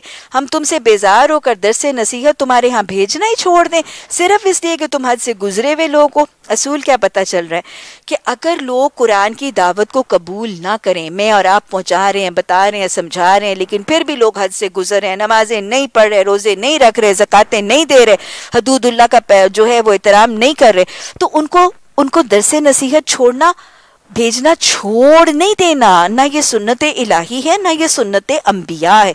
दिल अल्लाह की दो उंगलियों के दरमियान है, पता नहीं कब दिल बदल जाए। और वो कहते हैं ना, आखिर दिल ही तो है, पता नहीं कब कुरान की तालीमत असर कर जाए।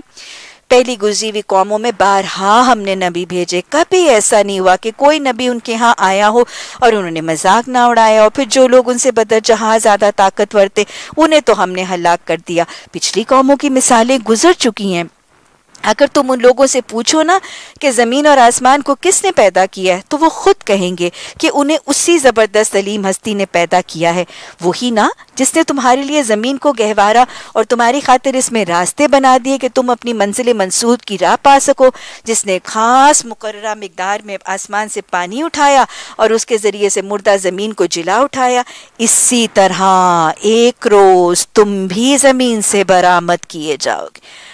अल्लाह उस दिन की घबराहटों से बचा लेना, अल्लाह उस दिन की परेशानियों से बचा लेना। वो दिन जब नबी भी नफसी नफसी पुकार रहे होंगे अल्लाह महासिबना हिसाब यसीरा, अल्लाह बिला हिसाब जन्नत में दाखिल होने वालों में बना देना। वही है जिसने तमाम जोड़े पैदा किए, जिसने तुम्हारे लिए किश्तियाँ और जानवरों को सवारी बनाया, ताकि तुम उनकी पुश्त पर चढ़ो। और जब चढ़ो तो क्या करो? उन पर अपने रब के एहसान को याद करो और क्या कहो? नबी सल्लल्लाहु अलैहि वसल्लम कुरान की इस दुआ को अपनी सवारी पर चढ़ते वक्त पढ़ते थे। गोया ये मसनून दुआ भी है और क्या है? ये कुरानी दुआ भी है। सुबहान लजी सखर अलना हाजा व मकुन्न लहू मुकरनीन व इन्ना इला रब्बिना लमुक़लिबून। पाक है वो जिसने हमारे लिए इन चीज़ों को मुसखर कर दिया। वरना हम तो इन्हें काबू में लाने की ताकत नहीं रखते थे और एक रोज़ हमें अपने रब की तरफ़ पलटना है। सवारी पर सवार होने की जो सुन्नतें हैं, नबी सल्लल्लाहु अलैहि वसल्लम अपना दायां पाँव रिकाब में रखते थे सवारी पर, फिर बिस्मिल्लाह कहते थे, फिर उसके बाद अल्हम्दुलिल्लाह, तीन दफ़ा अल्लाह अकबर और फिर उसके बाद ये दुआ। दायां पाँव इसलिए कि आप हर अफजल काम का जो आला काम है, जीशान काम है, उसका आगाज़ आप दाएँ जानब से करते थे। इसी तरह बिस्मिल्लाह इसलिए कि हदीस में है कि हर काम को शुरू करने से पहले बिस्मिल्लाह पढ़ी जाती है और जिस काम से पहले बिस्मिल्लाह नहीं पढ़ी जाती, उससे बरकत उठ जाती है। और फिर आप अल्हम्दुलिल्लाह कहते थे, इसको भी ना अपना ज़रूरी मामूल बना लीजिए। अपनी सवारी पर बैठते हुए अल्हम्दुलिल्लाह कहते हुए सिर्फ़ नोके ज़बान से अल्हम्दुलिल्लाह नहीं कहना, बल्कि दिल की गहराइयों से शुक्र और ज़िक्र करते हुए अल्हम्दुलिल्लाह कहा करें, सवारी पर बैठ के जब अपने घर में, घर से खैरियत से जा रहे होते हैं तो कितनी बातें शुक्र तलब होती हैं। शुक्र है मेरे पास सवारी है, शुक्र है अगर खुद ड्राइविंग करी है तो शुक्र है मुझे ड्राइविंग की जो है सलाहियत है मेरे पास, या शुक्र है मेरे पास मुआविन है ड्राइव करने वाले, शुक्र है मेरी सवारी कितनी कंफर्टेबल है, और शुक्र है मेरे पास सेहत और ताकत है कि मैं जा रही हूँ, फुर्सत है कि मैं जा रही हूँ, मेरे पास माल है कि मैं जा रही हूँ, और शुक्र है कि मैं खैरियत से खुशी के मौके पे जा रही हूँ। है ना? कितनी बातें उस वक्त शुक्र करने की। तो सिर्फ़ अल्हम्दुलिल्लाह जबान से नहीं कहना, कोशिश करके अल्लाह की उस नेमतों को याद करके शुक्र करते हुए अल्हम्दुलिल्लाह कहना है। और फिर उसके बाद अल्लाह अकबर कहना है, ताकि अल्लाह की किबरियाई का ऐलान करते हुए हम अपने घर से निकलें और फिर इससे आजजी भी इंशाल्लाह ज़रूर आएगी और अल्लाह की ज़ात का तारुफ और ईमान भी बढ़ जाएगा। और फिर ये कहना कि अल्लाह तूने इन चीज़ों को हमारे लिए मुसखर कर दिया। आप देखिए जो सारी सवारियाँ हैं, चाहे वो घोड़े हैं, हाथी हैं, ऊँट हैं, इतने इतने बड़े जानवर जिनकी ताकत इतनी बड़ी, ये अल्लाह ही है ना जो मुसखर कर देता है। उनको हार्नेस करने, उनको नकेल पहनने, उनको दाएँ बाएँ खींचने, रोकने, चलाना, ये सब कुछ कौन है? ये अल्लाह ने ये सलाहियत और ये इल्म और हुनर दिया है। और सिर्फ़ वो नहीं, हमारी गाड़ियाँ। कितनी पावरफुल होती हैं हमारी ये आज गाड़ियाँ, लेकिन उस क्लच, ब्रेक, उस स्टेयरिंग व्हील के साथ कौन हमें इल्म और फन देता है कि हम इनको कंट्रोल कर लेते हैं? और फिर अल्लाह हमें उसको चलाने और ड्राइव करने की सलाहियतें सिखा देता है। एक छोटा सा धान पान सा पायलट होता है और इतने बड़े जम्बू जेट को वो फ्लाई कर रहा होता है, या इतने बड़े एफ़ सिक्सटीन को फ्लाई कर रहा होता है, या एक लग्जरी लाइनर को वो सेल कर रहा होता है। तो ये है कि अल्लाह तूने हमें इनके लिए, इनको हमारे लिए मुसखर कर दिया। हम तो काबू में लाने की ताकत नहीं रखते थे। और ये करने के साथ फिर ये कहना कि अल्लाह, व इन्ना इला रब्बिना लमुनक़लिबून। अल्लाह, आज तो मैं सवारी पर सवार होकर खैरियत और आफियत के साथ इससे जा रही हूँ और इन तेरा करम और फजल शामिल हाल होगा तो मैं आफियत से अपने घर लौटूँगी। लेकिन अल्लाह, आज मैं अपने उस दिन को भी याद कर लूँ कि जब मैं अपने घर से निकलूँगी। तो फिर मैं शायद अपने घर वापस नहीं पलटूँगी। रोज जब भी अपने घर से निकलें, अपने उस आखिरी सफ़र को ज़रूर याद कर लिया करें। अपने उस सफ़र को ज़रूर याद कर लिया करें।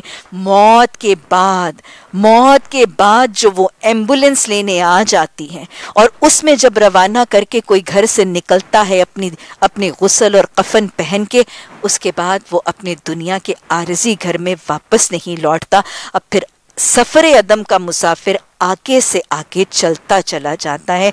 उसकी कब्र उसका हशर, उसका हिसाब, उसका पुल सिरात और फिर उसका जन्नत या जहन्नुम का ठिकाना हर सफ़र पर निकलने से पहले, हर जगह जाने से पहले अपना ये सफ़र याद करना, उस सारी मुलाकात और सारी रुदात में फ़िक्र आखरत के इजाफे, ईमान के इजाफे और अमल की इसलाह का ज़रिया ज़रूर बनेगा।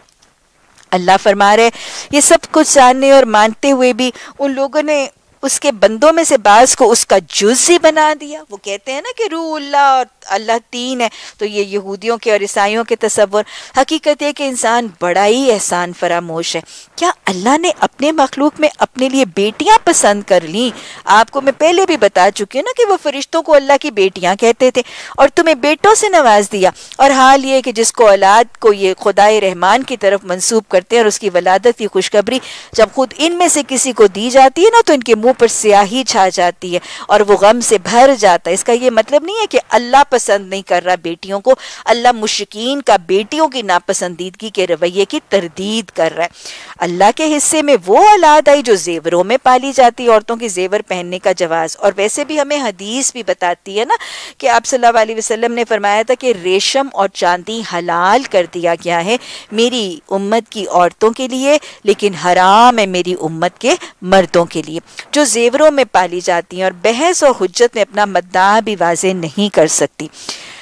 उन्होंने फरिश्तों को जो खुदाए रहमान के ख़ास बंदे हैं, औरतें करार दे दिया। क्या उन्होंने जिसम की साख देखी है कि उनकी गवाही लिख ली जाएगी और उन्हें उसकी जवाबदेही करनी होगी? ये कहते हैं, अगर खुदाए रहमान चाहता कि हम उनकी इबादत न करें तो हम कभी उनको ना पूछते। ये उस मामले की हकीकत को कतई नहीं जानते, महज तीर तुक्के लड़ाते हैं। क्या हमने इससे पहले कोई किताब इनको दी थी जिसकी सनद पर अपनी मलाइका परस्ती के लिए ये अपने पास रखते हो? नहीं, बल्कि ये कहते हैं, हमने अपने बाप दादा को इसी तरीके पर पाया तो और हम उन्हीं के नक्शे कदम पर चल रहे हैं। इसी तरह तुमसे पहले जिस बस्ती में भी हमने कोई मुतनबे करने वाला भेजा है ना, उसके खाते पीते लोगों ही ने ये कहा कि हमने अपने बाप दादा को एक तरीके पर पाया और हम उन्हीं के नक्शे कदम की पैरवी करेंगे। हर नबी ने उनसे पूछा, क्या तुम उसी डगर पर चलते जाओगे। हाँ मैं उस रास्ते से ज़्यादा सही रास्ता तुम्हें बता दूँ, जिस पर तुमने अपने बाप दादा को पाया। उन्होंने सारे रसूलों को यही जवाब दिया कि जिस दीन की तरफ़ बुलाने के लिए तुम भेजे गए हो ना, हम तो उसके काफिर हैं। आखिरकार हमने उनकी खबर ले ली और देख लो, झुटलाने वालों का, किन झुटलाने वालों का, कुरान और हदीस की तालीमत का इनकार करने वालों का अंजाम क्या हुआ? याद करो वक्त जब इब्राहिम अलैहिस्सलाम ने अपने बाप और अपनी कौम से कहा था, तुम जिनकी बंदगी करते हो, उनसे मेरा कोई ताल्लुक नहीं। मेरा ताल्लुक तो सिर्फ़ उससे है जिसने मुझे पैदा किया। वो ही मेरी रहनुमाई करेगा। और इब्राहिम यही कलमा अपने पीछे अपनी औलाद में छोड़ गया, ताकि वो उसकी तरफ़ रजू करें। इसके बावजूद जब ये लोग दूसरों की बंदगी करने लगे तो मैंने उन्हें मिटा नहीं दिया, बल्कि मैंने उनको और उनके बाप दादा को मताए हयात दी। यहाँ तक कि उनके पास हक और खोल खोल कर बयान करने वाला रसूल आ गया। मगर जो हक उनके पास आया तो उन्होंने तो कह दिया, ये जादू है और हम इसको मानने से इनकार करते हैं। कहते हैं, ये कुरान दोनों शहरों के बड़े आदमियों में से किसी पर नाजिल क्यों नहीं किया गया? क्या ये तेरे रब की रहमत को तकसीम करते हैं? दुनिया की ज़िंदगी में इनके गुजर बसर की ज़राए तो हमने इनके दरमियान तकसीम किए हैं और इनमें से कुछ लोगों को दूसरों पर हमने बदरजहा फोकियत दी है ताकि ये एक दूसरे से खिदमत लें और तेरे रब की रहमत इस दौलत से ज़्यादा कीमती है जो इन रईसों को जो समेट रहे हैं। अगर अंदेशा ना होता कि सारे के सारे लोग एक ही तरीके के हो जाएँगे तो हम खुदाए रहमान से कुफर करने वाले लोगों के घरों की छतें और उनकी सीढ़ियाँ, जिनसे वो अपने बाला खानों में चढ़ते हैं और उनके दरवाजे और उनके तख्त जिन पर वो तकिया लगा के बैठते हैं, सब चांदे और चांदी और सोने के बनवा देते। ये तो महज हरात दुनिया की मता है और आखरत किन के लिए है? वल आखिरत मुत्तकीन। अल्लाह आती नफसी तकवाहा। जो शख्स रहमान के ज़िक्र से गफलत बरतता है। रहमान के ज़िक्र से यानी उसके दिल में अल्लाह की याद नहीं, उसके नाम, जबान पर अल्लाह का नाम नहीं। ना नमाज़ पढ़ता है, ना कुरान खोलता है, ना नमाज़ के बाद के असकार करता है, ना दुआएँ करता है, ना सुबह शाम के असकार पढ़ता है, सुस्ती बरतता है, ना जबान पर तस्बीहात रखता है। तो जो शख्स रहमान के ज़िक्र से गफलत बरतता है ना, फिर अल्लाह क्या करता है? हम उस पर एक शैतान मुसलत कर देते हैं। मैंने आपको हदीस सुनाई थी ना, कि अल्लाह के रसूल सल्लल्लाहु अलैहि वसल्लम ने फरमाया कि हर शख्स के दिल के दो हिस्से होते हैं। एक में उसका फरिश्ता और एक में उसका शैतान। आपने फरमाया कि जब वो ज़िक्र करता है तो उसका फरिश्ता वहाँ से भाग जाता है और जब वो ज़िक्र छोड़ता है तो फरिश्ता वापस आता है, अपने दिल के हिस्से पर अपनी चोंच रख के क्या करता है? एक वसवसा। किसका? किसी बुराई का, किसी नाफरमानी गुनाह का, हराम काम का वसवसा डाल देता है। तो आप सल्लल्लाहु से साहबा ने पूछा, या रसूलुल्लाह क्या ये आपके साथ भी है? आपने फरमाया हाँ मैंने अपने शैतान को क्या कर लिया? मैं उस पर गालिब आ गया हूँ। अल्लाह हमें भी उस पर, उसकी उकसाहटों से बचाए और अल्लाह हमें, उसके चुंगल से हमें और हमारी जुरियत को बचाए। तो जो ज़िक्र से गफलत बरतता है, हम उस पर एक शैतान मुसलत कर देते हैं और फिर वो उसका साथी बन जाता है। और शैतान क्या करता है? फिर ऐसे ज़िक्र से गाफिलों को राह रास पर आने से रोकता है और वो अपनी जगह ये समझता है कि हम ठीक किए जा रहे हैं। शैतान ऐसा कह रहा नहीं, तुम ठीक ही कर रही हो, तुम कुछ नहीं कर रही हो। सॉरी दुनिया कर रही है, तुम अकेली थोड़ा कर रही हो। सॉरी दुनिया कर रही है, जो ये इनका अंजाम होगा, तुम भी कर लेना हाँ। और फिर शैतान ऐसे जुमले सिखाता है, जबान खल को, नकारा खुदा समझो, चलो तुम उधर को, हवा को जिधर की, in Rome do as Romans do. बस ऐसी बातें सिखाता है और लोगों को कहता है, नहीं, तुम ठीक ही कर रही आखिरकार जब ये शख्स हमारे पास पहुंचेगा ना तो अपने शैतान से कहेगा, काश मेरे और तेरे दरमियान मशरक और मगरब का बोध होता, तू तो बड़ा ही बदतरीन साथी निकला। उस वक्त इन लोगों से कहा जाएगा, जब तुम जुल्म कर चुके तो आज ये बात तुम्हारे लिए कुछ नफा बख्श नहीं होगी और तुम और तुम्हारे शैतान अजाब में सब मुश्तरक होंगे। अब क्या तुम बहरों को सुनाओगे या अंधों को सरी गुमराही में पड़े हुए लोगों को रास्ता दिखाओगे? अब तो हमें इनको सजा देनी है। खा तुम्हें दुनिया से उठा लें या तुम्हें आँखों से वो उनका अंजाम दिखा दें जिसका हमने उनसे वादा किया है। हमें उन पर पूरी कुदरत हासिल है। तुम बहरहाल इस किताब को मजबूती से थामे रखो जो वही के ज़रिए तुम्हारे पास भेजी गई है। यकीनन तुम सीधे रास्ते पर हो। हकीकत यह है कि तुम्हारे लिए और तुम्हारी कौम के लिए ये बड़ा शर्फ है और अनकरीब तुम लोगों को इसकी जवाबदही करनी होगी। अल्लाह महासिब इबना हिसाब यसीरा तुमसे पहले हमने जितने रसूल भेजे, उन सबसे पूछ देखो, क्या हमने खुदाए रहमान के सिवा कोई दूसरे मबूद मुकर किए थे उनकी बंदगी की जाए? हमने मूसा को अपनी निशानियों के साथ फिर और उसके आया ने सल्तनत के पास भेजा और उसने जाकर कहा, मैं तो रब्बुल आलमीन का रसूल हूँ। और जब हमने, उसने हमारी निशानियाँ उनके सामने पेश की तो वो ठट्ठे मारने लगे।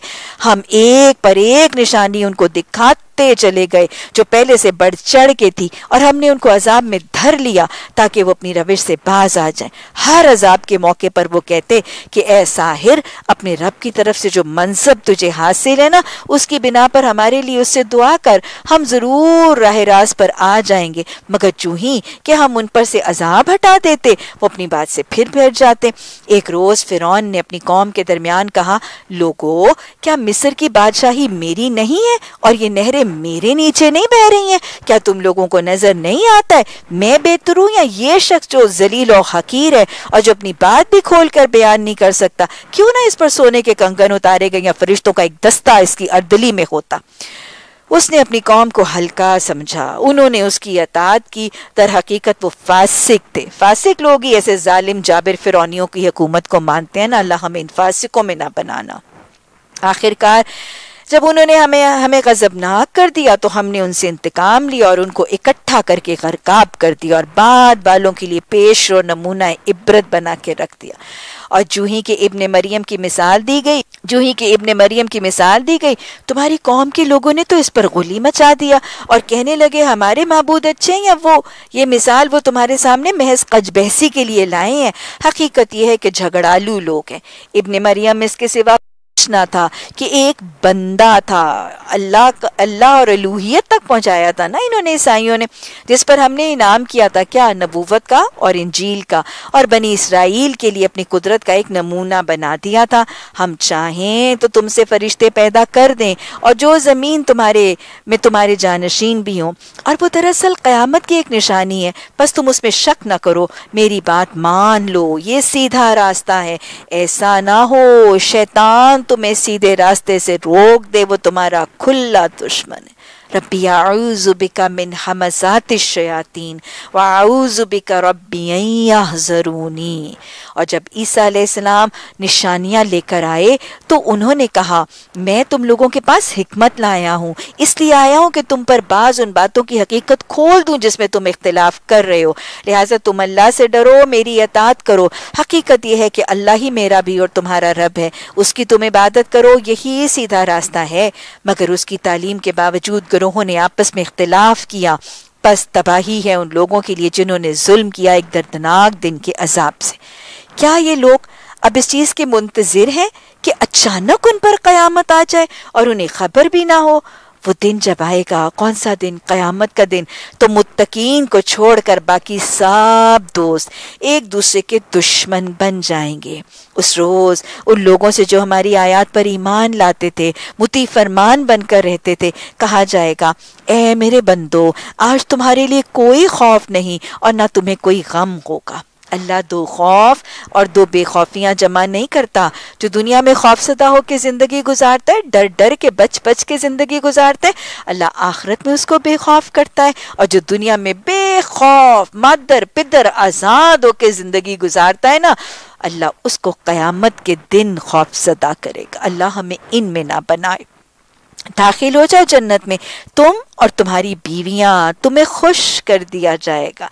बीवियों को तो जवान, कंवारी, बाकरा, हसीन, इतनी हसीन के जन्नत की खातून दुनिया में झाँक भी लेना तो मशरक से मगरब तक रोशनी हो जाए। इतनी खूबसूरत के हदीस में आता है कि रोज़ उसका हुसन बढ़ता चला जाएगा। अल्लाह हमें इस हुसन का हरीस बना के अपने दुनियावी हुसन को हदूदुल्लाह के मुताबिक पर्दे में रखने की तोफ़ी कता फरमा। उनके आगे सोने के थाल। अरे, हिरस करनी है तो यहाँ के सोने की क्या करती हैं? यहाँ तो दो अंगूठियाँ मिल जाएँगी, चार हार मिल जाएँगे।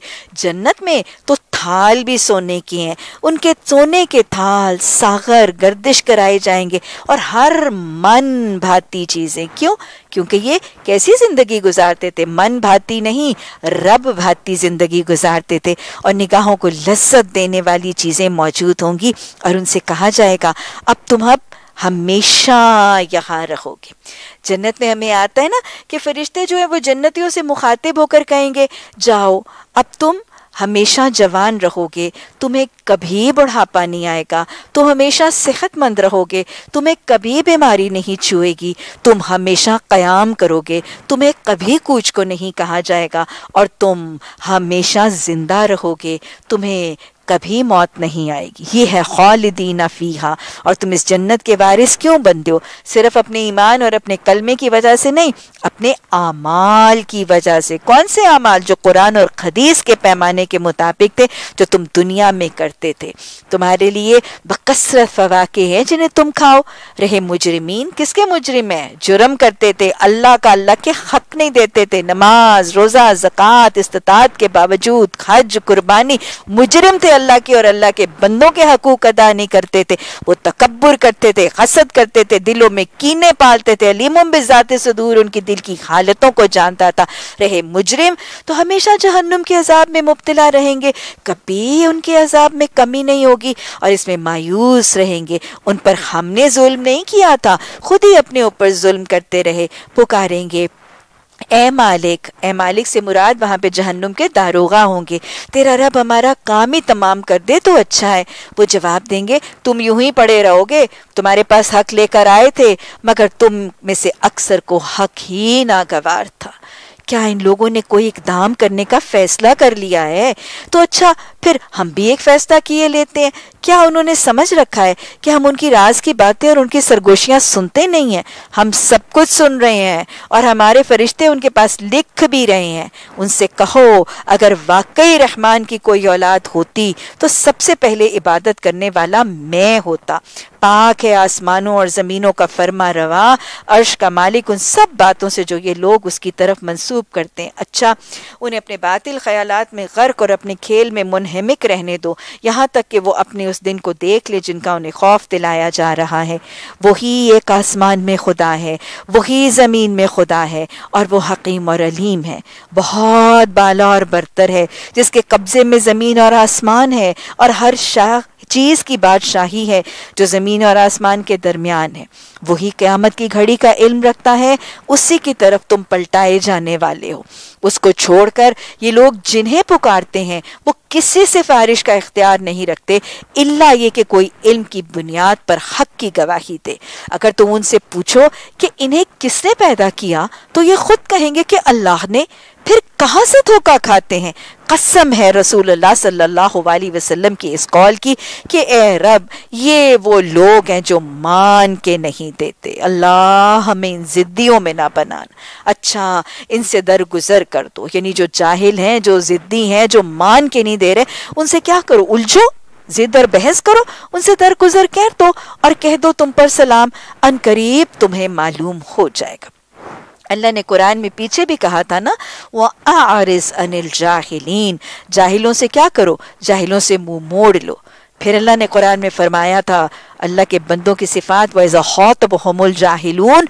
कौलू सलामा, जब जाहिल उनके साथ मुखातिब होते हैं तो कहते हैं, अस्सलाम वालेकुम तुम पर सलामती हो। किसमें नहीं? वाहुम अनिल लगवी मोरजून लघवियात से एराज करते हैं। वाइजा मर्रू बिल लगवी, मर्रू करामा लघवियात और बेकार और जाहिलाना चीज़ों पर से उनका गुजर होता है तो इज़्ज़त वालों की तरह गुजर जाते हैं। अल्लाह हमें इन सिफात से मुतसिफ फरमा दे। सदक़ल्लाज़ीम सूरा दुखान मक्की सूरत है, तीन रकुआत और 59 आयात पर मुश्तमिल। ये तरतीब के एतबार से 44th नंबर पर और नजूली एतबार से 64th नंबर पर आने वाली दसवीं आयत में बेदुखान मुबीन धुएँ का एक तस्करा है तो उस हवाले से इस सूरत का नाम है। ज़माना नजूल का अगर मामला देखा जाए तो ये मक्का का तकरीबन आखिरी दौर है कि मुशिकीन मक्का ना पूरी शद्दोमत के साथ आपकी मुखालफत पर जमे और डटे हुए हैं और किसी तरह जो है वो मान नहीं रहे। तो उस मुखालफत के दौर में फिर अल्लाह के रसूल सल्लल्लाहु अलैहि वसल्लम ने दुआ की थी कि इलाही मेरी कौम को, जिसे कहते हैं ना, झंझोड़ने के लिए और इनको जोल्टिंग देने के लिए मुतनबे करने के लिए हज़रत यूसुफ अलैहिस्सलाम की कौम की तरह का एक कहत इन पर मुसलत कर दे। और फिर अल्लाह के हुक्म से वो कहत इन पर आया भी, और उस कहत के मुसलत होने से पहले सूरह दुखान में उस कहत की पेशन गोई भी की जा रही। तो लिहाजा उस हवाले से इसको सूरा दुखान कहा जाता है। और वैसे खैर ये ज़रूर देख लीजिए कि नबी सल्लल्लाहु अलैहि वसल्लम ने जब दुआ की तो कहत साली मुसलत हुई। नबियों की दुआ, हबीब खुदा सल्लल्लाहु अलैहि वसल्लम की दुआ कबूल होती है। दो दुआएँ ज़रा मैं आज यहाँ पे ज़रूरी दोहरा दूँ। एक मौका ये कि आप सल्लल्लाहु अलैहि वसल्लम मस्जिद मस्जिद नबवी के मिंबर पर तशरीफ़ फरमा होके चढ़ते चले जा रहे हैं। आपने हर तीन जीनों के ऊपर आमीन। किसी ने दुआ की और आपने आमीन कहा। पहले दूसरे तीसरे जीने पर नबी सल्लल्लाहु अलैहि वसल्लम ने आमीन फरमाया। तो जब सहाबा इकराम ने पूछा कि हमने तो किसी को दुआ करते हुए देखा ही नहीं, आपने किस चीज़ पर आमीन फरमाया? तो आप सल्लल्लाहु अलैहि वसल्लम ने फरमाया कि हज़रत जिब्राइल ने तीन लोगों पर लानत की दुआ की है और मैंने उनकी दुआ पर आमीन कहा है। और ये तीन लोग कौन से थे? कि दुआ लाजमन कबूल होगी, अल्लाह हमें इनमें ना बनाए। आपने फरमाया कि वो शख्स जो रमज़ान के महीने को पाएगा। आने वाला है। अल्हम्दुलिल्लाह, हमें बेहतरीन सादतें इस रमज़ान के महीने की समेटने की तोफ़ी कता फरमाए। आपने फरमाया कि वो शख्स जो रमज़ान के महीने को पाता है और उसकी बरकतों और बख्शिशों और सादतों को समेटने से महरूम रह जाता है। अल्लाह हमें उनमें ना बनाए। दूसरा, वो शख्स जिसके सामने नबी सल्लल्लाहु अलैहि वसल्लम का नाम लिया जाता है और वो दरूद नहीं भेजता। सल्लल्लाहु अलैहि वसल्लम। बखील है ना? आपने फरमाया कि बदतरीन बखील है वो शख्स जिसके सामने रसूलुल्लाह सल्लल्लाहु अलैहि वसल्लम का नाम लिया जाता है और वो दरूद नहीं भेजता तो ये वो दूसरा है। और तीसरा वो शख्स जो अपने वालदेन में से किसी एक को या दोनों को बुढ़ापे की हालत में पाता है और उनकी खिदमत करके अपने लिए जन्नत कमाने का हकदार नहीं बन जाता। और फिर मुझे वो दुआ याद आ रही है जो आप सल्लल्लाहु अलैहि वसल्लम ने हजतुल विदा के मौके पर आपने हाथ उठा के दुआ की थी, इलाही मसरूर और शादाब रखना। मसरूर का मतलब है खुश और शादाब का मतलब है फ्रेश। मसरूर और शादाब रखना उस शख्स को जिसने मुझसे मेरी बात सुनी और उसको लोगों तक पहुँचा दिया। कोया हदीस और सुन्नत की तबलीग और अशात में अपना किरदार अदा करने वालों और दीन मोहम्मदी सल्लल्लाहु अलैहि वसल्लम को सुनने के बाद लोगों तक पहुँचाने वालों के लिए ये खूबसूरत दुआ। अल्लाह हमें इस दुआ के पैमाने पर पूरा उतरने, इसके मिस्ताक पर पूरा उतरने और इन दुआओं का हकदार बनने की तोफ़ी कता फरमाए। बिस्मिल्लाहिर्रहमानिर्रहीम। हामीम। वल किताबिल मुबीन। हामीम कसम है इस बैन क्लियर कट वाजे दो टोक अहकाम वाली किताब की। इसको हमने कौन सी नात में नाजिल किया? इन्ना फ़ी लैलतिम मुबारकतिन। अल्लाह फरमा रहे कि इसको हमने एक बरकत वाली रात में नाजिल किया। क्यों? क्योंकि हम लोगों को मुतनबे करने का इरादा रखते थे। ये वो रात है जिसमें हर मामले का हकीमाना फैसला हमारे हुक्म से सादिर किया जाता है। गोया इस रात में क्या है? अल्लाह की तरफ़ से लोगों की तकदीरों, लोगों के रिस्क और अल्लाह के अहकाम जो हैं, उनको, उनका फैसला किया जाता है। अल्लाह सुबहाना ताला यहाँ पर एक रात को लई लतिम मुबारक तिन कहकर इसमें दो कामों के होने का तस्करा कर रहे हैं। एक तो नजूल कुरान का और दूसरे अल्लाह के अहकाम मुस्तबिल के बारे में अल्लाह के फैसले अहकाम और तकदीर के फैसलों का मामला। सूरत दुखान की इस आयत को, आयत नंबर तीन और चार को जवाज बना के पंद्रह शाबान की रात का जवाज बनाया जाता है। पंद्रह शाबान जिसको हमारे माशरे में शब बरात की रात कहा जाता है, इस आयत को उसका जवाज बनाया जाता है और एक हदीस उसके हवाले से कोट की जाती है जो हदीस ज़यीफ़ है। और फिर इन दोनों का हवाला और जवाज बना के उस दिन का रोज़ा, उस रात की इबादत और उस दिन खिलाना पिलाना जो है, उसको सुन्नत और हदीस के हवाले से साबित करके अपनाया जाता है। और फिर जो सबसे अजीब सी बात है, पता नहीं वो फायर वर्क और वो पटाखे और वो सब चीज़, उसका तस्वुर कहाँ से निकल आता है? बाहर कैफ इस आयत और उस हदीस, ज़यीफ़ हदीस को जवाज़ बना के तस्वुर इस आय जो है वो पंद्रह शाबान की रात की फजीलत का तस्वुर इसके साथ मनसूब किया जाता ये याद रखिएगा कि इस आयत से हरगिज उस रात का जवाज नहीं है, क्योंकि नजूल कुरान की रात कौन सी रात है? अल्लाह ने सूरा कदर में वाज तौर पर फरमाया इन अनजलनाहु फ़ी लैलतुल कद्र। वमा अदरा का मा लैलतुल कद्र। लैलतुल कद्री खैर मिन अल्फ शहर तनज़्ज़ुलुल मलाइकतु वरूह फीहा बिइज़्नि रब्बिहिम मिन कुल्लि अम्र सलामुन हिया हत्ता मतलइल तो गोया नजूल कुरान की रात तो सूरा कदर में लैलतुल कदर है। और वही रात, वो लैलतुल कदर की रात है, जिसमें यही दो काम है, कि उसमें तकदीर के फैसले भी हैं, कदर मंजिलत वाली रात भी है, दुआओं की कबूलियत वाली रात भी है, और उसमें कुरान का नजूल भी है। असल हकीकत कुछ यूँ है कि ये कुरान में नाउजुबिल्ला कोई कॉन्ट्रडिक्शन नहीं है। ये एक ही रात के बुनियादी तौर पर दो नाम है। एक ही रात के दो नाम है। सूरह दुखान में अल्लाह ने उसको लत मुबारकतिन कहा है और सूरह कदर में उसको लतुल कदर कहा है।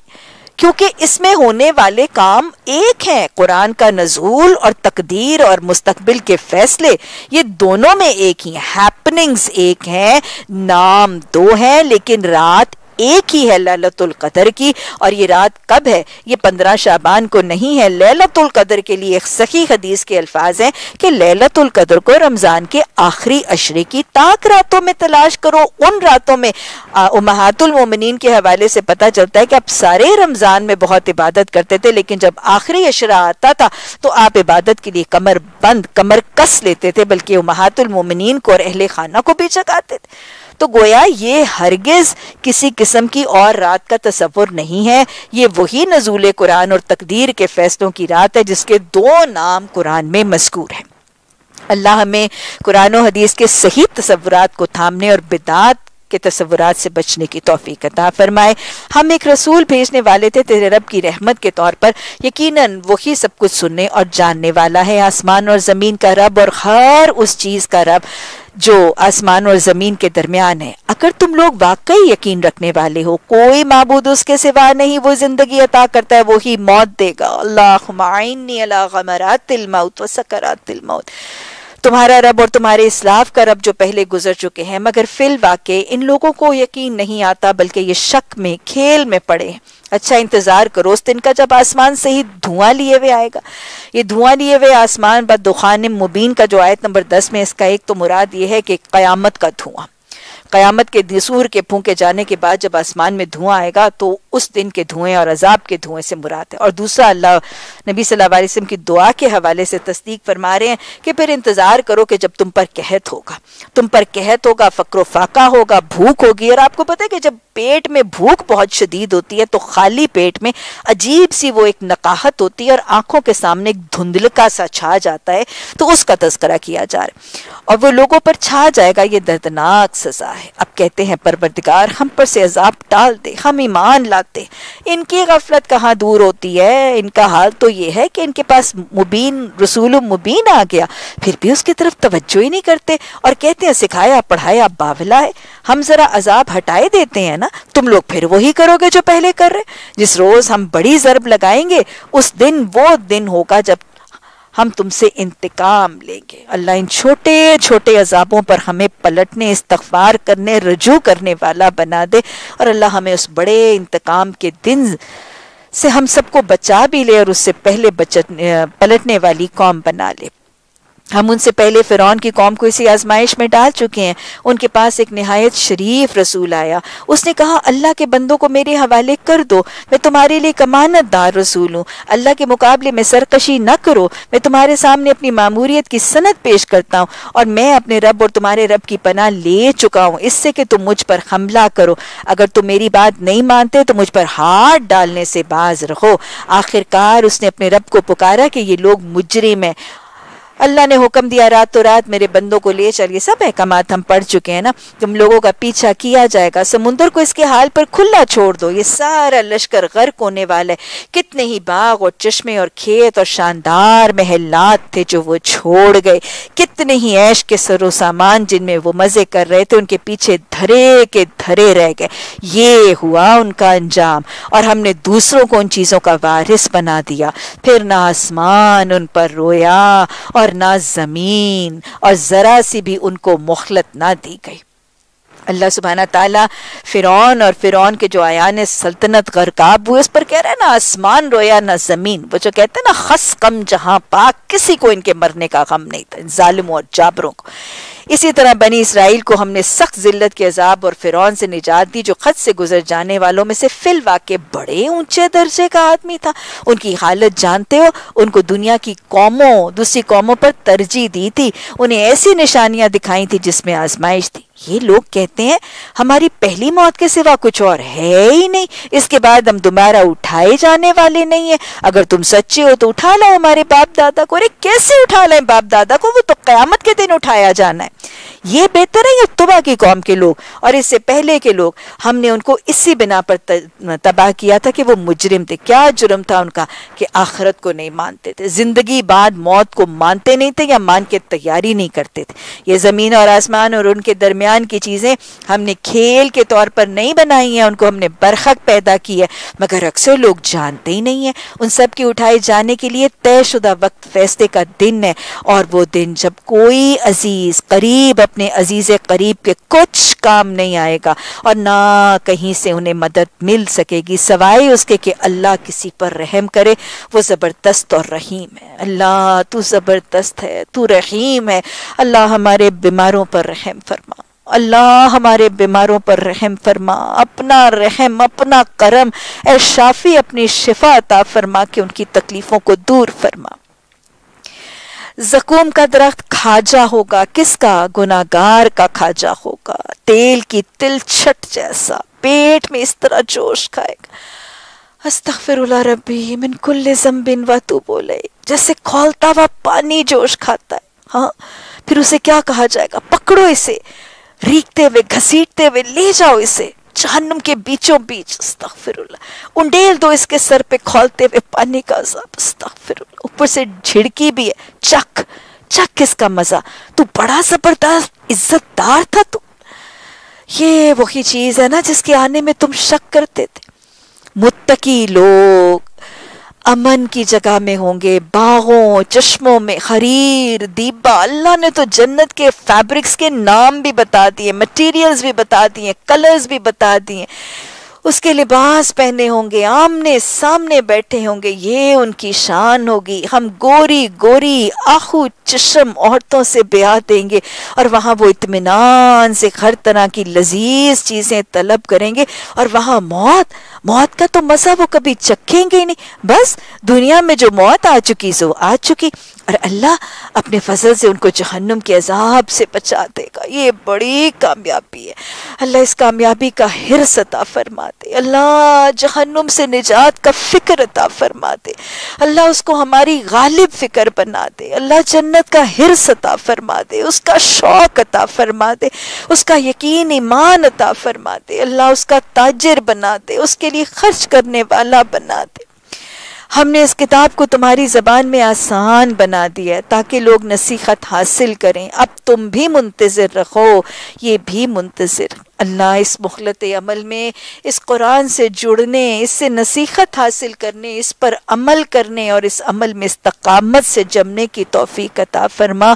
अल्लाह जो अमल करें, उनको कबूल फरमा लेना। अल्लाह जो अमल करें, अल्लाह उनको हमारे नामा अमाल में कई गुना बढ़ा के अजर अता फरमा देना। उसको हमारी निजात का ज़रिया बना देना।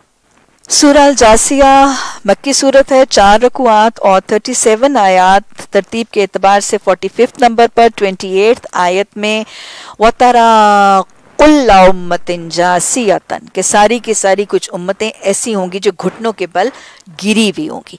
अकीदा तोहीद और अकीदा आखरत, ये बुनियादी दो मजामी हैं जो इस सूरत में नाजिल हुए हैं। आल हवामीम सीरतों का सिलसिला जारी है। बिस्मिल्लाहिर्रहमानिर्रहीम। हामीम तंजीलुल किताबी मिनल्लाहिल अजीज़िल हकीम। नाजिल करना है इस किताब का ज़बरदस्त और हकीम रब की तरफ़ से। वो रब बड़ा हिकमत वाला है। उसने बड़े हिकमतों वाले अहकाम नाजिल किए हैं। अल्लाह इस किताब को पढ़ के हमें हमत से ज़िंदगी गुजारने का तरीका सिखा दे अल्लाह हमत से दावत देना हम सब के लिए आसान बना दे। वो रब हकीम है। उसके फैसलों में, उसके आने वाले तमाम मामला में हमत है। उसके अहकाम में हमत है। लेकिन अगर तुम हमत वाले अहकाम पर हमत अमली से अमल नहीं करोगे तो याद रखना, फिर वो बड़ा ज़बरदस्त भी है। उसका हिसाब, उसका किताब, उसकी पूछ गिछ उसका अजाब और उसकी सजा।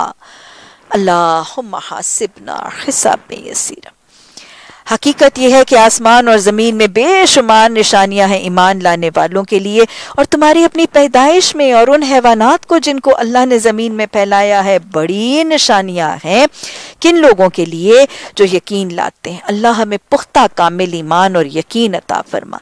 शब रोज़ के फ़र्क और इख्तलाफ में, उस रिस्क में जिसे अल्लाह आसमान से नाजिल करता है, फिर उसके ज़रिए से मुर्दा ज़मीन को जिला उठाता है और हवाओं की गर्दिश में बहुत सी निशानियाँ हैं उन लोगों के लिए अक्ल से काम लेते हैं। ये अल्लाह की निशानियाँ हैं, जिन्हें हम तुम्हारे सामने ठीक ठीक बयान कर रहे हैं। अब आखिर अल्लाह और उसकी आयात के बाद और कौन सी बात है जिस पर ये लोग ईमान लाएँगे? रब्बना इन्ना आमन्ना फ़िर लना, जनुबना, वकीना अजाबन्नार वैल है, किसके लिए? वैलुल्लिकुल्ली अफ़ा के नासीम वैल हलाकत, तबाही, बर्बादी, हर एक परले दर्जे के पक्के झूठे के लिए आपने क्या फरमाया था? आप सल्लल्लाहु अलैहि वसल्लम ने फरमाया था, झूठ से बचो, क्योंकि झूठ गुनाहों की तरफ़ ले जाता है, गुनाह जहन्नम की तरफ़ ले जाते हैं। आदमी झूठ बोलता रहता है कि उसका नाम ही झूठों की सफ पे लिख दिया जाता है। वो अफाक है, जिसके लिए अल्लाह वैल की वही दे रहे अल्लाहुम्मा अजिरना मिनन्नार अल्लाहुम्मा तहिर कल्बी मिनन निफाकी व अमली मिनर रियाई व लिसानी मिनल क़ज़बी व आईनी मिनल खयानती। इन्नका तअलमु मन खाइनतिल आईनी व मा तुखफिस सुदूर। हर परले दर्जे का झूठा और परले दर्जे का गुनाहगार। उसके लिए वाइल है। ये कौन है जिसके सामने अल्लाह की आयात पढ़ी जाती है? कुरान खोलता है, दौरा कुरान की नशिस्त में बैठता है, कुरान पढ़ता है, हदीस सुनता है, सुन्नत सुनता है, साहबा साहबियात के वाकयात सुनता है, लेकिन क्या करता है? पूरे तकबर के साथ अपने इनकार हक पर अड़ा रहता है। गोया कि उसने उनको सुना ही नहीं। सुनी अनसुनी करता है, एक कान में से सुनता है, दूसरे कान में से निकाल देता है। अल्लाह हमें ऐसा अंधा बहरा ना बनाए। कुरान सुनता है, हदीस और दीन के पैगाम और अहकाम और हलाल और हराम और खदूत को सुनने के बाद तकबर कैसे करता है? तकबर मैंने कल आपको बताया था कि तकबर की आपने डेफिनेशन बताई थी, बतर हक, के अल्लाह के हक के अहकाम का इनकार करता है और अल्लाह के सारे अहकाम हक है। अल्लाह के हक अहकाम को कुरान में सुनता है और नाउज बिल्ला सुम्मा नाउज बिल्ला उसका तकबर ही होता है कि वो अपने तरीके, अपने लिबास, अपने मामला अपने कारोबार, अपनी रसूमात, अपनी खुशी गमी के तरीके, अपने शादी ब्याह के तरीकों को नाउज बिल्ला सुम्मा नाउज बिल्ला इसके बताए हुए तरीकों से बेहतर समझता है। पूरी जिद और डिटाई और तकबर से अपने माशरे और अपने तरीकों के ऊपर जमा और डटा रहता है, यही तकबर है। अल्लाह हमें ऐसे तकबर से बचाए। अल्लाह हमें ऐसे गरूर से बचाए। अल्लाह जो हम, अल्लाह के आगे नमाजों में रकू और सजूद करते हैं, अल्लाह हमें अमली तौर पर भी कुरान के अहकाम के आगे झुकने और फरमा बरदारी करने की तोफ़ी कता फरमाए। ये पूरे तकबर के साथ अपने इनकार हक पर जमा रहते। गोया कि उसने सुना ही नहीं। ऐसे शख्स को दर्दनाक अजाब की खुशखबरी सुना दो। हमारी आयात में से कोई बात सूरा बकरा की सूरा निसा की, नूर अहजाब की खुजरात की। कोई बात जब उसके इल्म में आती है तो मज़ाक नॉन सीरियस केयरलेस एटीट्यूड ऐसे सब लोगों के लिए जिल्लत का अजाब है। उनके आगे जहन्नुम में अस्तगफिरुल्लाह रब्बी। जो कुछ उन्होंने दुनिया में कमाया, उसमें से कोई चीज़ इनके काम नहीं आएगी। ना उनके वो सरपरस्त उनके कुछ कर सकेंगे, जिन्हें अल्लाह को छोड़कर उन्होंने अपना वली बना रखा है। उनके लिए बहुत बड़ा अजाब है। ये कुरान सरासर हदायत है। उन लोगों के लिए बला का दर्दनाक अजाब है जिन्होंने अपने रब की आयात को मानने से इनकार किया वो अल्लाह ही है, जिसने तुम्हारे लिए समुंदर को मुसखर किया ताकि उसके हुक्म से किश्तियाँ उसमें चलें। और तुम अल्लाह का फजल तलाश करो और शुक्रगुजार बनो। उसने ज़मीन और आसमान की सारी चीज़ों को तुम्हारे लिए मुसखर कर दिया, सब कुछ अपने पास से। इसमें बड़ी निशानियाँ उन लोगों के लिए जो गौर और फ़िक्र करें। ईमान लाने वालों से कह दो, जो लोग अल्लाह की तरफ़ से बुरे दिन आने का कोई अंदेशा नहीं रखते, उनकी हरकतों पर दरगुजर से काम लें। याद रखिएगा, गुनाह से नफरत करनी है गुनागार से नहीं। दरगुजर से काम लें, ताकि अल्लाह खुद एक ग्रोह को उसकी कमाई का बदला दे, जो कोई नेक अमल करेगा, अपने लिए करेगा, जो बुराई करेगा, वो खुद उसका अजब भुगतेगा। फिर जाना तो सबको अल्लाह की तरफ़ है। इससे पहले बनी इसराइल को हमने किताब और हुक्म और नबूवत अता की थी। उनको हमने उम्दा सामान जीज से नवाजा था। दुनिया भर के लोगों पर उन्हें फजीलत दी थी और दीन के मामले में उन्हें वाज हदायत दी थी। फिर जो इख्तलाफात उनके दरमियान रूनुमा हुए, ना वाकफियत की वजह से नहीं, बल्कि इल्मा जाने के बाद हुआ। और इस बिना पर हुआ कि वो आपस में एक दूसरे की ज्यादती करना चाहते हैं। मैंने अभी भी आपको पहले फिरका वारियत की बात बताई। मैं आपको बताऊँ कि फिरके और ग्रोह और धड़े ये जाहिल और अनपढ़ लोग नहीं बनाते हैं। ये साहिब इल्म होते हैं। इनके पास कुरान और हदीस का इल्म होता है कि उसमें से नुक्ते निकालते हैं और उसमें से जवाज और हीले और बहाने निकालते हैं। अब कल जैसे मैंने आपको आयत पढ़ के सुनाई, कुल इन्ना माना बशरुम मिसलुकुम वो कौन उसके अंदर इन्ना और माँ को अलग कर सकता है जिसको बड़ा गहरा सरफो नहब अरबी ग्रामर, कुरान सब चीज़ों का इल्म है? जो इन आयात को पहचानता है और बड़ी बारीकी के साथ फतवे और कॉन्सेप्ट जो है वो निकाल सकता है। तो हमेशा साहिब इल्म ही फिरके बनाया करते हैं। ये जाहिलों का काम नहीं है।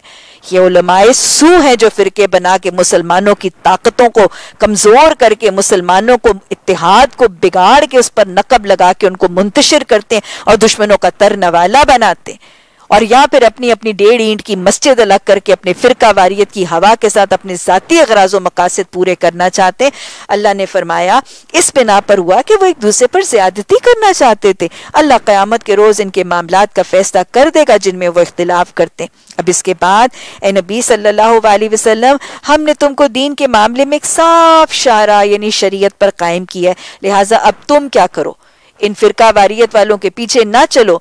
तुम इसी पर चलो। किस पर? कुरान और हदीस पर। वातसमुबी जमिया वाला तफर्रकू। तुम इसी पर चलो। इन लोगों की ख्वाहिशात की पैरवी न करो जो इल्मी रखते। अल्लाह के मुकाबले में वो तुम्हारे कुछ काम नहीं आ सकते। जालिम लोग एक दूसरे के साथी और मुत्तकियों का साथी तो अल्लाह है। अल्लाह आती नफसी तकवा अल्लाह हमारा वली बन जा। ये बसीरत की रोशनियाँ हैं, सब लोगों के लिए हदायत और रहमत है, उन लोगों के लिए जो यकीन लाए। क्या वो लोग जिन्होंने बुराइयों का इरतकाब कर लिया, यानी जो कमिट कर रहे हैं बुराइयाँ, बेनमाजी हैं, जक़ातें नहीं दे रहे, बदअखलाकियाँ करते हैं, मज़ाक उड़ाते हैं, चुगलियाँ, गीबतें करते हैं, लोगों को आपस में लड़ाते हैं, रिश्वत लेते हैं, आराम माल खाते हैं, लोगों की विरासतों को हड़प करते हैं, वो लोग जिन्होंने बुराइयों का इरतकाब किया है ये समझे बैठे हैं कि हम उन्हें और ईमान लाने वालों को, नेक अमल करने वालों को एक जैसा कर देंगे। उनका जीना, मरना बराबर हो जाएगा। बहुत ही बुरे हुक्म है जो ये लोग लगाते हैं। अल्लाह ने तो आसमानों और ज़मीनों को बरहक पैदा किया है और इसलिए किया है कि हर मुतनफ़िस को उसकी कमाई का बदला दिया जाए। लोगों पर जुल्म हर नहीं किया जाएगा। फिर क्या तुमने उस शख्स के हाल पर गौर किया, जिसने अपने ख्वाहिश नफ्स को अपना खुदा बना लिया? पीछे भी हम दो दफ़ा तस्करा कर चुके हैं ना? वो शख्स जो अपनी ख्वाहिशात नफ्स अपनी आर्जुओं, अपनी तमन्नाओं, अपनी डिज़ायर्स अपनी टेम्पटेशन रिजिस्ट नहीं कर सकता और उन्हीं को खुदा बना लेते हैं और उन्हीं की पैरवी करता है। अल्लाह ने पीछे कहा, एक जगह कहा कि उसकी मिसाल कुत्ते की सी है। और एक जगह अल्लाह ने फरमाया कि वो एक जानवर की तरह है। अपनी ख्वाहिशात नफ्स को अपना खुदा बनाता है। जो रब कहता है, उसको नहीं मानते। जो मन कहता है, उसको मान लेते हैं। मन मानी करते हैं, रब की नहीं मानते। अपने कारोबारों में, अपने धंधों में, अपने अखलाक में, अपनी शादियों, ब्याहों में बरादरी की, अपनी ख्वाहिशात की मानते हैं। अल्लाह को मानना छोड़ देते हैं। ख्वाहिशात को नफ्स बना लेते हैं। अल्लाह रुश्तन वाइज न मिन शरूर अनफुसिन। अल्लाह हमें नफ्सों के शर से बचा लेना। और अल्लाह ने इल्म के बावजूद उसे गुमराही में फेंक दिया। जब नफ्स खुदा बन जाता है ना तो फिर इल्म हो, कुरान का, हदीस का, जब नफ्स की पैरवी शुरू हो जाए ना तो इल्म के बावजूद वो गुमराही में चला जाता है। उसके दिलों पर, उसकी कानों पर मोर लग गई है। किसकी? उसकी डिजायर्स की, उसकी तमन्नाओं की, उसकी आँखों पर पर्दा है दुनिया की मोहब्बत का। अल्लाह के बाद अब कौन है जो उसे हदायत दे दे? क्या तुम लोग सबक नहीं लेते? ये लोग कहते हैं कि ज़िंदगी बस हमारी दुनिया की ज़िंदगी है। यही हमें मरना और जीना और गर्दिश अयाम के सिवा कोई चीज़ ही नहीं जो हलाक करती हो।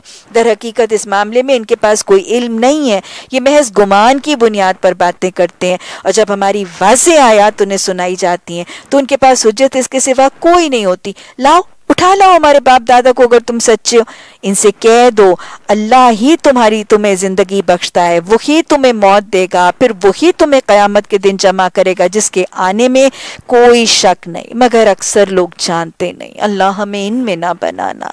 ज़मीन और आसमान की बादशाही ज़मीन और आसमानों की बादशाही अल्लाह की है। जिस रोज़ क़यामत की घड़ी आ खड़ी होगी, उस दिन बातिल परस्त खसारे में पड़ जाएँगे। उस वक्त तुम हर गरोह को देखोगे, घुटनों के बल गिरा देखोगे। हर गरोह को पुकारा जाएगा कि वो आए और अपना नामा या अमाल देखे। उनसे कहा जाएगा, आज तुम लोगों को उन अमाल का बदला दिया जा रहा है जो कुछ तुम करते थे। हर एक को उसके अपने अमाल का बदला, किसी को किसी दूसरे के अमाल का बदला नहीं दिया जाएगा। अल्लाह ने कुरान में बार खास समझा दिया, ला तजिरु वाजरतन विजरा उखरा। क़यामत का वो भारी दिन, वो बोझ, कोई बोझ किसी दूसरे का बोझ नहीं उठाएगा। और फिर अल्लाह ने वाज तौर पर फरमा दिया, लहा मा कसबत व अलैहा मकतसबत। तुम्हारे लिए वो है जो तुमने कमाया, और उनके लिए वो है जो उन्होंने कमाया। किसी को दूसरे की जिस्मानी इबादत नहीं पहुंचेंगी। हाँ कोई सदका जारिया बन जाए तो वो और बात है। अपनी अपनी कमाइयाँ अपने अपने कसब। अल्लाह सुबहाना ताला फरमाएगा, ये हमारा तैयार कराया हुआ अमाल नामा है जो तुम्हारे ऊपर ठीक ठीक गवाही दे रहा है। जो कुछ भी तुम करते थे, हम उससे लिखवाते जा रहे थे। फिर जो लोग ईमान लाए थे और नेक अमल करते थे, उन्हें उनका रब अपनी रहमत में दाखिल कर लेगा। और यही सरी कामयाबी। अल्लाह अपनी रहमतों से ढांप ले। अल्लाह दुनिया में भी अपनी रहमतों से माला माल कर दे। अल्लाह मौत का वक्त भी आसान कर देना। अल्लाह अगले सारे मराखिल को, खबर को, हशर को, हिसाब किताब को, अल्लाह नामा अमाल के खुलने को तुलने को अल्लाह सबको आसान कर देना। अल्लाह पुल सिरात पर नूर अता फरमाना। अल्लाह जन्नत में दाखिल करके उस जहन्नुम झुलसा देने वाली जहन्नुम से हम सबको बचा लेना। जिन लोगों ने कुफर किया था, उनसे कहा जाएगा, क्या तुम्हें मेरी आयात सुनाई जाती थी? मगर तुमने तकबर किया और तुम मुजरिम बनकर रहे। कुरान की आयात सुनते थे, समझते थे, पढ़ाई जाती थी। हदीस और आया सुन्नत के वाक़ से उनकी तशरी उनकी तोज़ी रिलेट किया जाता था, लेकिन फिर वही बात। जिद थी और ढिटाई थी, अपना तरीका, अपना अंदाज, अपने रवैये, मेरा लिबास, मेरा कारोबार, मेरी रसूमात, ये ज़्यादा बेहतर है। ये कुरान पुरानी बात बताता है, इसको बदलने की ज़रूरत है, इसके अंदर तब्दीली लाने की ज़रूरत है। यही वो जिद थी, मगर तुमने तकबर किया, तुमने इनकार का जुर्म किया। और जब कहा जाता था कि अल्लाह का वादा बरहक है, क़यामत के आने में कोई शक नहीं तो तुम कहते थे कि हम नहीं जानते क़यामत क्या होती है। हम तो बस एक गुमान सा रखते हैं, बस यकीन नहीं आता। उस वक्त उन पर उनके अमाल की बुराइयाँ खुल जाएँगी। उसी चीज़ के फेर में आ जाएँगे जिसका वो मज़ाक उड़ाते थे और उनसे कह दिया जाएगा। आज हम भी तुम्हें इसी तरह भुलाए देते हैं। जिस तरह तुम इस दिन की मुलाकात को भूल गए हो, तुम्हारा ठिकाना अब दोजख है रब्बना सिर्फ़ अन्ना और तुम्हारा कोई मदद करने वाला नहीं। ये तुम्हारा अंजाम इसलिए हुआ कि तुमने अल्लाह की आयत का मज़ाक ही बना लिया था, और तुम्हें दुनिया की ज़िंदगी ने धोखे में डाल दिया था। लिहाजा आज ना ये लोग दोजक से निकाले जाएँगे, और ना उनसे कहा जाएगा कि माफ़ी मांग के अपने रब को राज़ी कर लो। अल्लाहुम्मा जालनी अल्लाहुम्मा जालनी मिन तवाबीना व जालनी मिनल मुततखिरीन रब्बिगफिर वरहम व अंत खैरुर राहिमीन अस्तगफिरुल्लाह रब्बी मिन कुल्ल ज़म्बिन व अतूबु इलैक बस तारीफ़ अल्लाह के लिए है, जो ज़मीन और आसमान का मालिक है। सारे जहान बालों का परवरदिगार। ज़मीन और आसमानों में बड़ाई उसके लिए है और वो ज़बरदस्त भी है और वो बड़ा ताना भी है। अल्लाह अपनी ज़ात, अपनी सिफात, अपने इख्तियार की पहचान अता फरमा, अल्लाह ईमान अता फरमा, अल्लाह बुरहान, फुरकान, कुरान अता फरमा, अल्लाह बंदगी के तरीके सिखा, बंदगी का अदब अता फरमा, बंदगी में इस्तकामत अता फरमा, अल्लाह इस बंदगी और अतात में हमें लुत्फ और ईमान की हलावत अता फरमा। अल्लाह सुबहाना ताला हम सबको अपनी रजा अता फरमा। अल्लाह अपनी नजा, अपनी नाराज़गी अपने कहर से बचा, अपने अपनी अजाब, अपनी सज़ा से बचा। अल्लाह सबका हिसाब किताब आसान कर देना। अल्लाह हम सबसे राज़ी हो जाना। अल्लाह क़यामत के दिन नामा अमाल हमारे सीधे हाथ में थमा देना। अल्लाह उस दिन की ज़िल्लतों रसवाइयों, घबराहटों से बचा लेना।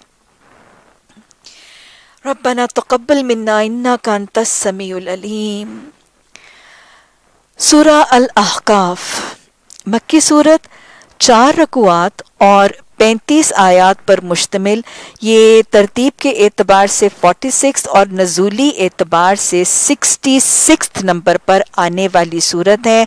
और आयत नंबर 21 में अहकाफ के एक वाक्य का तस्करा है और उसी हवाले से इस सूरत का नाम सूरा अहकाफ है। सूरा अहकाफ के हवाले से अगर हम इसका ज़माना नजूल देखें तो इस सूरत में जो वाक़ इसके पस मंज़र में आया है, वो सही अहदीस से मुतफ़िकन अहदीस, और मुतफ़िकन अहदीस वो होती हैं जो बुखारी और मुस्लिम में दोनों में रवायत की गई हैं।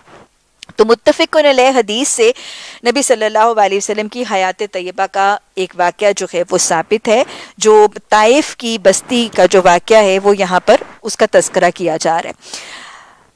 नबी सल्लल्लाहु अलैहि वसल्लम की दावत, जब आप दावत देते चले जा रहे हैं तो 10 साल जब आपकी नबूवत में गुजरे, उसके बाद की ये रुदात है।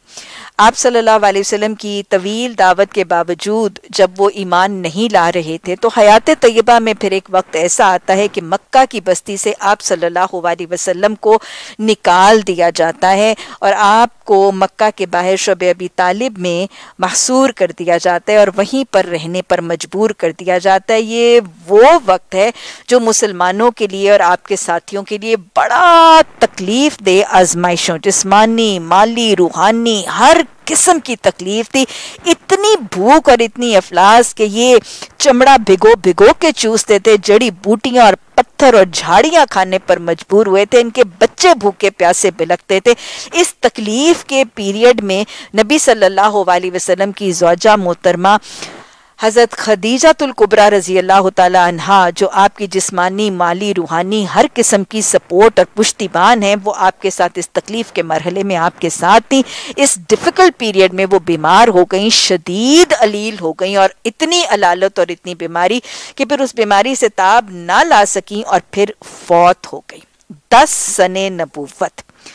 टेंथ ईयर ऑफ़ नबूवत में हज़रत खदीजा रज़ी अल्लाह तहा पहले और फिर आपके चचा, जो आपके जोरे बाजू, आपके पुश्तिबान, आपके मुहाफिज, आपके निगरान वसीला अल्लाह ने मक्का की बस्ती में बनाया था, फिर ये भी अपनी अलालत के बाद फौत हो जाते हैं। ये दस सने नबूवत नबी सल्लल्लाहु अलैहि वसल्लम की हयात तय्यबा में आमुल हुजन गम का साल ईयर ऑफ़ ग्रीफ के नाम से जाना जाता है। ऐसे जैसे नबी सल्लल्लाहु अलैहि वसल्लम के सर के ऊपर से छत और उनके पाँव के नीचे से ज़मीन निकल गई। सारी की सारी माली, माशी social economical psychological emotional support से ऐसे जैसे बिल्कुल महरूम होके रह गए। ऐसे जैसे गम का एक पहाड़ आके गिर गया। ऐसे जैसे एक बिजली जो है वो गम की आपकी आसाब के ऊपर गिर गई। लेकिन इस हालत में भी, इतने गम की हालत में भी ईयर ऑफ़ ग्रीफ में भी नबी सल्लल्लाहु अलैहि वसल्लम कितना खूबसूरत मेरे और आपके लिए नमूना रकम करते हुए नज़र आते हैं कि अब मक्का की बस्ती के लोग तो अब दावत पर लबैक नहीं कह रहे, ईमान कबूल नहीं कर रहे, ना अब ना उम्मीद। है ना आप मायूस हैं, ना आप गम को अपने ऊपर तारी कर रहे हैं, बस वही अमल, काम काम, बस, काम, दावत दावत, बस, दावत। आप सल्लल्लाहु अलैहि वसल्लम अब जब मक्का के लोग इस्लाम कबूल नहीं कर रहे तो फिर आप, वो जो कहा गया ना कि नाउमीदी कुफर है और मायूसी गुनाह है, आप इन दोनों इन दोनों जज्बात से बच के पूरे सबर, शुक्र, तवक्कुल और कनात की हालत में मुस्तकिल मिजाजी और साबित कदमी से नाउमीदी और मायूसी से बचकर आपने ताइफ की बस्ती का रुख कर दिया। कुछ अवायात में आता है कि आप तन तनहा और कुछ अवायात में आते हैं कि एक साथी साथ थे। बहरहाल आप ताइफ की बस्ती में उम्मीद से गए कि इन लोगों को जब मैं कुरान की दावत दूँगा तो शायद सरदारान ताइफ में से कोई इस्लाम कबूल कर ले। तो ये मिमदो मुआविन भी बनेंगे और ये इस्लाम के लिए ज़ोर बाजू भी बनेंगे। उम्मीद के साथ गए, लेकिन वहाँ पर सरदारान ताइफ ने साफ़ जवाब दे दिया। टका सा इनकार करके वापस लौटने का ही नहीं सिर्फ़ कहा, बल्कि जो बस्ती के सबसे औबाश लौंडे थे ना, उनको भी नबी सल्लल्लाहु अलैहि वसल्लम के ऊपर जुल्म और ज्यादती का नाउजुबिल्ला पहाड़ तोलने के लिए उनको माइल कर दिया। ये छोटे छोटे लड़के थे, ये हायड वो अबाश लौंडे थे, जेबों में इन्होंने अपने पत्थर भर लिए थे और नबी सल्लल्लाहु अलैहि वसल्लम ताइफ की जिस बस्ती की सड़क से वापस निकल रहे थे, उसकी दोनों जानब ये अबाश लौंडे खड़े हो गए थे और अपनी जेबों में से पत्थर निकाल निकाल के नबी मेहरबान सल्लल्लाहु अलैहि वसल्लम के जिस्म मुबारक पर पत्थर बरसा रहे थे। जिसमें मुबारक लहू लुहान था, जख्मी था और इन नोकीले पत्थरों के चुभने से जिसम इतना जख्मी और इतना लहू लुहान था कि खून बह बह के रिस रिस के जूते भर गए थे। नालैन मुबारक जूतों से भर गए थे, निचड़ गए थे। और आप सल्लल्लाहु अलैहि वसल्लम खून और इस खून आलूदा जख्मी हालत में फिर एक बाग की दीवार के साय में टेक लगा के बैठ गए थे। नमूना देख लीजिए। लक़त काना लकुम फ़ी रसूलिल्लाहि उसवतुन हसनतुन। तुम्हारे लिए तो तुम्हारे महबूब सल्लल्लाहु अलैहि वसल्लम की ज़िंदगी में बेहतरीन नमूना है। क्या नमूना है? हर हाल में सब्र है, इस्तकामत है, अजीमत है। अल्लाह पर तवक्कुल है, ना ना उम्मीदी है, ना मायूसी है। दूर दूर तक ना उम्मीदी और मायूसी के बादल नज़र ही नहीं आते। किस कदर इस्तकामत है? और सबसे बढ़कर ये देख लीजिए कि नबी सल्लल्लाहु अलैहि वसल्लम ने दावत और तबलीग का जो खूबसूरत पैगाम दे दिया, दावत हर हाल में, खुशी में, गमी में, दुख में, परेशानी में, वफात में, वलादत में हर वक्त दावत। हर एक को दावत, अपनों को, गैरों को, परायों को, दोस्तों को, दुश्मनों को, अपनी बस्ती को, दूसरी बस्ती को। वक्त हर हाल में, हर एक को हर तरीके से दावत दी जाएगी। दिन में, रात में, सुबह में, शाम में। ये इस्तकामत है। ये वो सुन्नत मौकदा है जो शायद मेरी और आपकी ज़िंदगी में अभी शुरू ही नहीं हुई। राइज ही नहीं हुई। और फिर आप देख लीजिए कि ये वो दीन है जो मेरे रसूल सल्लल्लाहु अलैहि वसल्लम को इतना महबूब है, जिस दीन की खातिर आपने पत्थर बर्दाश्त किए, जिस दीन की खातिर आप लहू लुहान हुए, जिस दीन की खातिर मोहम्मद सल्लल्लाहु अलैहि वसल्लम के नालैन खून से भर गए।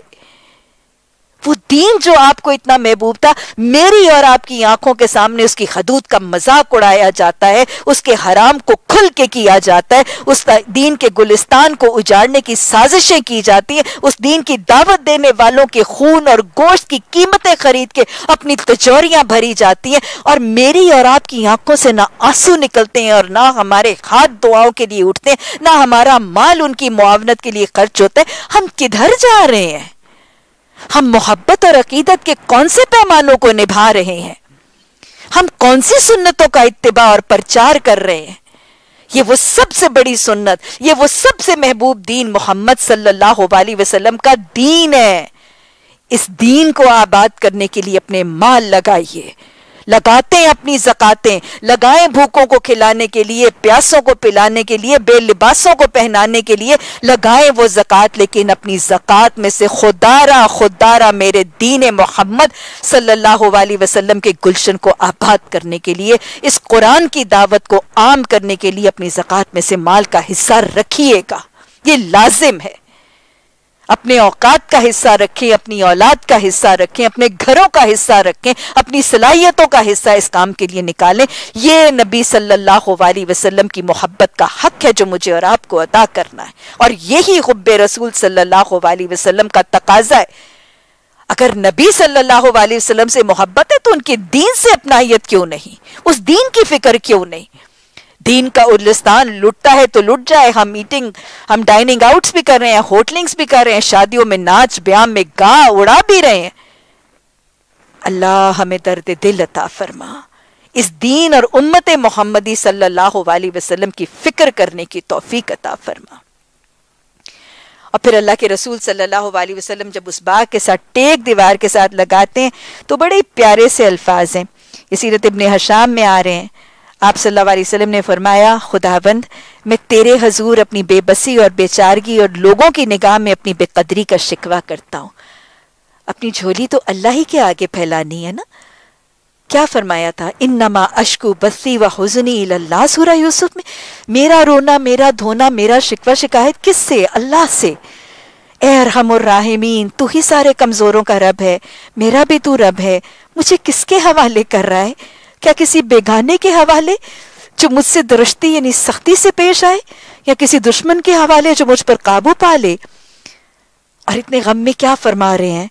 अगर तू मुझसे नाराज़ नहीं तो मुझे किसी मुसीबत की परवाह नहीं। अरे फिक्रों में गालिब फ़िक्र, दुखों में गालिब दुख अपनों की जुदाई का दुख नहीं, अपनी इज़्ज़त की कमी का दुख नहीं, अपने मज़ाक और तनकीद और एतराजात का दुख नहीं, पत्थर बरसाए जाने और लहू लुहान हो जाने की फ़िक्र नहीं।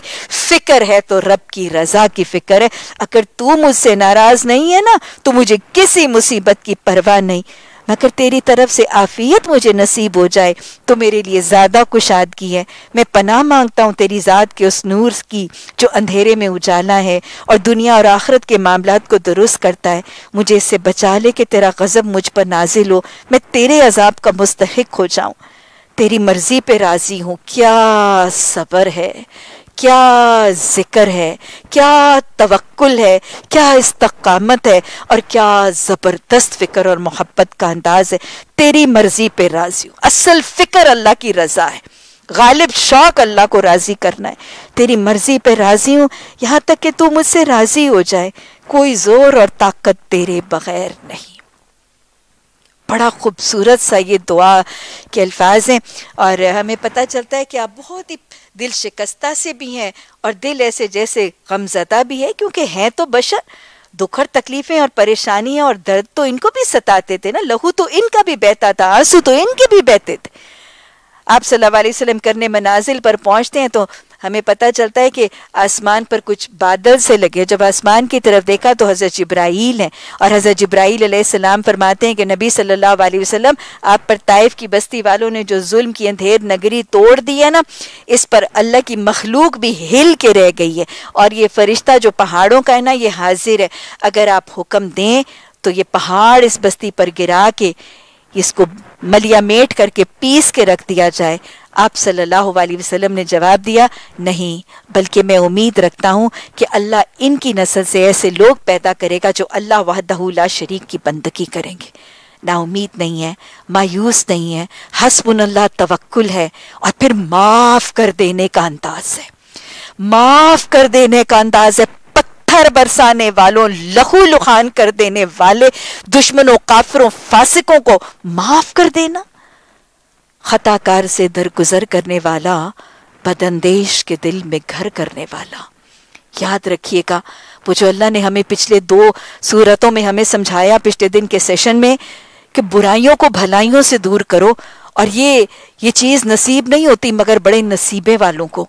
ये नसीबे वाले मोहम्मद सल्लल्लाहु अलैहि वसल्लम बुराइयों को भलाइयों से दूर करते हैं। अल्लाह ने हमें बताया था पिछले सबक में, अगर तुम बुराई को भलाई से दूर करोगे तो तुम देखोगे कि तुम्हारा जो खूनी जानी दुश्मन है, वो तुम्हारा जिगरी दोस्त बन जाएगा। और माफ़ कर देना, और बुराई को भलाई से दूर कर देना, ये खैर बरकत लाता है। ज़रूर लाता है खैर बरकत। अगर मोहम्मद सल्लल्लाहु अलैहि वसल्लम ने, नबी मेहरबान सल्लल्लाहु अलैहि वसल्लम ने ताइफ की बस्ती के लोगों को माफ़ न किया होता तो शायद आज हिंदुस्तान में मेरे और आपके ख़ानदान तक इस्लाम न पहुँचा होता। क्योंकि मोहम्मद बिन कासिम ताइफी की बस्ती का एक फर्द था। मोहम्मद बिन कासिम ताइफी की बस्ती का वो फर्द था। अगर पहाड़ गिरा के उस बस्ती को मलिया मेट कर दिया होता, इंतकाम ले लिया होता तो ना मोहम्मद बिन कासिम होता और ना शायद हिंदुस्तान में और मेरे और आपके घराने में इस्लाम होता। माफ़ करना, अपनी फयूज और बरकत ज़रूर लाता है, कभी जल्दी, कभी ताखिर से। अल्लाह हमें दिलों की सख्ती से बचाए और माफ़ करने और दर गुजर करने का तरीका और अंदाज सिखाए। बहरहाल सारी रुदात के बाद आप सल्लल्लाहु अलैहि वसल्लम नखला के मकाम पर जब पहुँचे और कुछ रवायात में आता है कि आप फजर की नमाज़, कुछ में आता है कि तहजद की नमाज़ में आप कुरान की तलावत कर रहे थे तो फिर अल्लाह सुबहाना ताला ने नबी सल्लल्लाहु अलैहि वसल्लम को तसल्ली देने के लिए ये एक जिनात का गरोह जो है वो भेजा और फिर अल्लाह ने सूरह अहकाफ नाजिल करके फरमाया कि जब अल्लाह के बंदों ने आपकी बात को सुनना और इस पर लब्बैक कहना के, का इनकार कर दिया है तो फिर अल्लाह सुबहाना ताला ने जिन्नात को आपका कलाम सुनने और उसको कबूल करने की तरफ़ माइल कर दिया। हाँ जी, आज आपके लिए ना, ये मैं, शाहनामा इस्लाम है और बड़ी खूबसूरत सी किताब है। ये हफीज़ जालंधरी ने इस्लाम की तारीख लिखी और ये ताइफ का जो वाक़ है, बड़े खूबसूरत पैराए में बयान किया गया ये आपके साथ शेयर करती हूँ कि कैसे नबी सल्लल्लाहु अलैहि वसल्लम ने हज़रत जब्राइल को जवाब दिया। जनाब रहमतुल्लिल आलमीन ने हंस के फरमाया कि मैं इस दहर में कहरो गज़ब बनकर नहीं आया, अगर कुछ लोग आज इस्लाम पर ईमान नहीं लाते, खुदाए पाक के दामान रहमत वहदत में नहीं आते, मगर नस्लें ज़रूर उनकी उसे पहचान जाएँगी। दरे तोहीद पे एक रोज़ आके सर झुकाएँगी। मैं उनके हक में क्यों कह रहे इलाही की दुआ मांगूं? बशर हैं, बेखबर हैं, क्यों तबाही की दुआ मांगूं? ये फरमा कर नबी सल्लल्लाहु अलैहि वसल्लम ने हाथ उठाकर एक दुआ मांगी। खुदा का फजल मांगा, हुए तस्लीम रजा मांगी। दुआ मांगी, इलाही कौम को चश्मे बसीरत दे। इलाही रहम कर उन पर, उन्हें नूरे हदायत दे।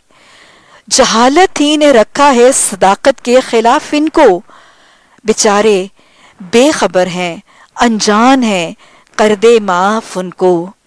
फराखी हिम्मतों को, रोशनी दे इनके सीनों को। किनारे पे लगा दे डूबने वाले सफीनों को। इलाही फजल कर कौसार ताइफ के मकीनों पर इलाही फूल बरसा दे पत्थरों वाली जमीनों पर। फिर हम कहते हैं कि नबी मेहरबान सल्लल्लाहु अलैहि वसल्लम का दीन तशद का दीन है दहशत गर्दी का दीन है, बदमनी का दीन है। अल्लाह हमें इसके अमन के पैगाम को पहुँचाने की तोफ़ी कता फरमा। और पैगाम याद कर लीजिए कि अल्लाह सुबहाना ताला सब्र करने वालों को, ज़िक्र और शुक्र करने वालों को तवक्ल और कनात करने वालों को, बंदगी पर जमने और डटने वालों को, हर जगह, हर वक्त, हर हाल में अपने तन, मन, धन को दीन की अशात के लिए पेश करने वालों को छोड़ता नहीं है। इन साबरीन का दर्स दोहरा लीजिए। अल्लाह जालनी सबूर व जालनी शकूरा। बिस्मिल्लाहिर्रहमानिर्रहीम। हामीम तंजीलुल किताबी मिनल्लाहिल अजीज़िल हकीम। इस किताब का नजूल अल्लाह ज़बरदस्त और दाना की तरफ़ से है। हमने ज़मीन और आसमान को और उन सारी चीज़ों को जो उनके दरमियान है, बरहक और एक मुद्दत ख़ास के तयन के साथ पैदा किया है। मगर ये काफ़ी लोग इस हकीकत से मुँह मोड़े हुए हैं, जिससे उनको ख़बरदार किया गया है। उनसे कहो कभी तुमने आँखें खोलकर देखा भी कि वो हस्तियाँ वो हस्तियाँ क्या है जिन्हें तुम खुदा को छोड़ के पुकारते हो? ज़रा मुझे दिखाओ तो सही कि ज़मीन में उन्होंने क्या पैदा किया है। या आसमान की तख्लीक और तदबीर में उनका क्या हिस्सा है? उससे पहली हुई आई हुई कोई किताब या इल्म का कोई बकिया इन अकायद के सबूत में तुम्हारे पास हो तो वही ले आओ अगर तुम सच्चे हो। आखिरकार उस शख्स से बहका हुआ कौन इंसान होगा जो अल्लाह को छोड़ के उनको पुकारेगा, जो क़यामत तक उनका जवाब नहीं दे सकते, बल्कि इससे भी बेखबर हैं कि उनको पुकारने वाले पुकार रहे हैं। और जब तमाम इंसान जमा किए जाएँगे। उस वक्त वो अपने पुकारने वालों के दुश्मन और उनकी इबादत के मुनकर होंगे। अल्लाह अल्लाह सुबहाना ताला कुरान में जो ये बार बार शिरक की नफ़ी, शिरक का अंजाम बता रहे अल्लाह हमें शिरक को समझने और अपने इर्द गिर्द अपने माशरे में शिरक को पहचानने और इससे परहेज और इज्तनाब करने की तोफ़ी कता फरमाए। अल्लाह की ज़ात, उसके सिफात, उसके इख्तियार उसकी इबादत में जितने किस्म के शिर के अकबर हैं शिर के असगर हैं, वो जली हैं, वो खफी हैं, अल्लाह सबसे हमें बचाए। अल्लाह की ज़ात, उसकी सिफात, उसके इख्तियार उसकी इबादत में अल्लाह हमें वहदानियत को अपनी ज़िंदगी में शामिल रखने की तोफ़ी अता फरमाए। उन लोगों को जब हमारी साफ़ साफ़ आयात सुनाई जाती हैं और हक उनके सामने आ जाता है तो ये काफ़ी लोग उसके बारे में कहते हैं, ये तो खुला जादू है। क्या उनका ये कहना है कि रसूलुल्लाह सल्लल्लाहु अलैहि वसल्लम ने उसे खुद घर लिया है? उनसे कहो, अगर मैंने खुद घर लिया तो मुझे खुदा की पकड़ से तुम कुछ भी नहीं बचा सकोगे। जो बातें तुम बनाते हो, अल्लाह को खूब उसको जानता है। मेरे और तुम्हारे दरमियान वही गवाही देने के लिए काफ़ी है। वो बड़ा दरगुजर करने वाला रहीम है। रब फिर हम व खैर उनसे कहो, मैं कोई निराला रसूल तो नहीं हूँ। मैं नहीं जानता कल तुम्हारे साथ क्या होना है और मेरे साथ क्या। ये बात याद रखिएगा। पीछे भी बात हो चुकी कि कल गैब की कुंजियों में से एक है। वाइंदा हो मफाती गैब अल्लाह के पास गैब की कुंजियाँ हैं और उन पाँच कुंजियों में से एक ये है कि कल क्या होगा आलिमुल अल्लाह है अल्लामुल गयूब अल्लाह है मोहम्मद सल्लल्लाहु अलैहि को मुस्तकबिल के बारे में कोई इल्म नहीं था इल्ला ये कि वही के ज़रिए मुतनबे कर दिया जाता था आप सल्लल्लाहु अलैहि वसल्लम को अगर गैब का पता होता तो क्या आपको ये ना पता होता कि ताइफ की बस्ती के लोग जो है वो दावत पर इनकार करेंगे और वो पत्थर बरसाएँगे? आपके पास हरगिज गैब का इल्म नहीं था। इसी तरह, जब आप सल्लल्लाहु अलैहि वसल्लम उहद के मैदान पे गए थे तो क्या आपको पता था कि दंदाने मुबारक शहीद होगा और मुझे जख्मी करके, लहू लुहान करके, लोहे की कड़ियाँ मेरे मेरे रुखसार मुबारक में पेवस्त कर दी जाएँगी? क्या आपको पता था कि जब आपने हज़रत जैनब रज़ी अल्लाह तहा को हज़रत अमर इबन आस की जो रिहाई और निजात के लिए बदर के बाद फिदिये के तौर पर बेटी को हिजरत करके मक्का से मदीना बुलाया था तो वो ऊँट से गिरा के जो है उनका हमल गिर जाएगा। आपको किसी गैब का इल्म नहीं था, इल्ला ये कि आपको वही के ज़रिए बताया जाता था, गैब का इल्म सिर्फ़ और सिर्फ़ अल्लाह के पास है। और गैब का इल्म पता करना क्या है? हदीस दोहरा लीजिए। आप सल्लल्लाहु अलैहि वसल्लम ने फरमाया कि जो किसी काहिन के पास या किसी नजूमी के पास जाएगा और गैब का इल्म पता करने की कोशिश करेगा, उसकी चालीस दिन की नमाज़ कबूल नहीं होगी। और जो किसी काहिन और किसी जादूगर या किसी आमिल के पास गया और उसने तस्दीक की उन बातों की जो उसने कही तो उसकी क्या है? उसने कुफर किया उस दिन से जो मोहम्मद सल्लल्लाहु अलैहि वसल्लम दे के भेजे गए अल्लाह ने फरमाया, रसूलुल्लाह सल्लल्लाहु को फरमाया गया कि आप कह दें कि मैं मैं नहीं जानता मेरे साथ कल क्या होना है। मैं तो सिर्फ़ वही की पैरवी करता हूँ जो मेरे पास भेजी जाती है और मैं साफ़ साफ़ खबरदार कर देने वाले के सिवा और कुछ नहीं हूँ। इनसे कहो, कभी तुमने सोचा कि अगर ये कलाम अल्लाह ही की तरफ़ से हुआ और तुमने उसका इनकार कर दिया तो तुम्हारा क्या अंजाम होगा? और इस जैसे कलाम पर तो बनी इसराइल का एक गवाह शहादत भी चुका है। यह हज़रत अब्दुल्ला बिन सलाम का तस्करा है जो यहूदी आलिम थे और वो फिर मुसलमान हो गए थे। तौरात पढ़कर इनको नबी सल्लल्लाहु अलैहि वसल्लम पर ईमान मिल गया था। वो ईमान ले आए हैं और तुम अपने घमंड में पड़े हो। अल्लाह ऐसे जालमों को हदायत नहीं दिया करता। जिन लोगों ने मानने से इनकार कर दिया है, वो ईमान लाने वालों के बारे में ये कहते हैं कि अगर इस किताब को मान लेना कोई अच्छा काम होता तो ये लोग इस मामले में हमसे सबकत ना ले जा सकते, चूँकि उन्होंने इसे हदायत ही नहीं पाई। इसलिए अब ये ज़रूर कहेंगे कि ये तो पुराना झूठ है। हालाँकि इससे पहले मूसा की किताब रहनुमा और रहमत बन के आ चुकी है। और ये किताब कौन सी? कुरान। उसकी तस्दीक करने वाली अरबी ज़बान में आई है ताकि ालिमों को मुतनबे कर दे और नेक रविश इख्तियार करने वालों को खुशखबरी दे दे। यकीनन, जिन लोगों ने कह दिया, क्या कहा? रबुल्ला सुमस्तकामू कल भी हमने देखा था ना कि जब कोई अल्लाह को मानने के बाद अल्लाह की मानता है और फिर पूरी इस्तकामत और सब्र से जम जाता है तो अल्लाह के हुक्म से आसमान से फरिश्ते उसके वली बन के उतरते हैं। क्या कहते हैं? अल्लाह तखाफू, वला तहसनु व अब शुरू है ना? तो वही बात आज दोहराई जा रही है, जिन्होंने कह दिया, अल्लाह हमारा रब है, और फिर वो साबित कदमी से जम गए। किस पर? हाँ अपनी नफ्स परस्ती पर नहीं, अपनी बरादरी की अतात पर नहीं, अपने माशरे की रसूमात पर नहीं, अल्लाह की बंदगी पर, अल्लाह के अहकाम पर, अतीउल्लाह व अतीउर रसूल पर पूरे सल्लल्लाहु अलैहि वसल्लम पर सब्र से जम गए। तो फिर उनके लिए क्या है? फला खौफुन अलैहिम वला हुम यहज़नून उनके लिए कोई खौफ नहीं और कोई गम नहीं। कहाँ पर? ना दुनिया में और ना दुनिया के बाद।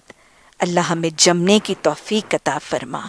रब्बना सब्बित अक़दामना वंसुरना अलल कौमिल काफिरीन।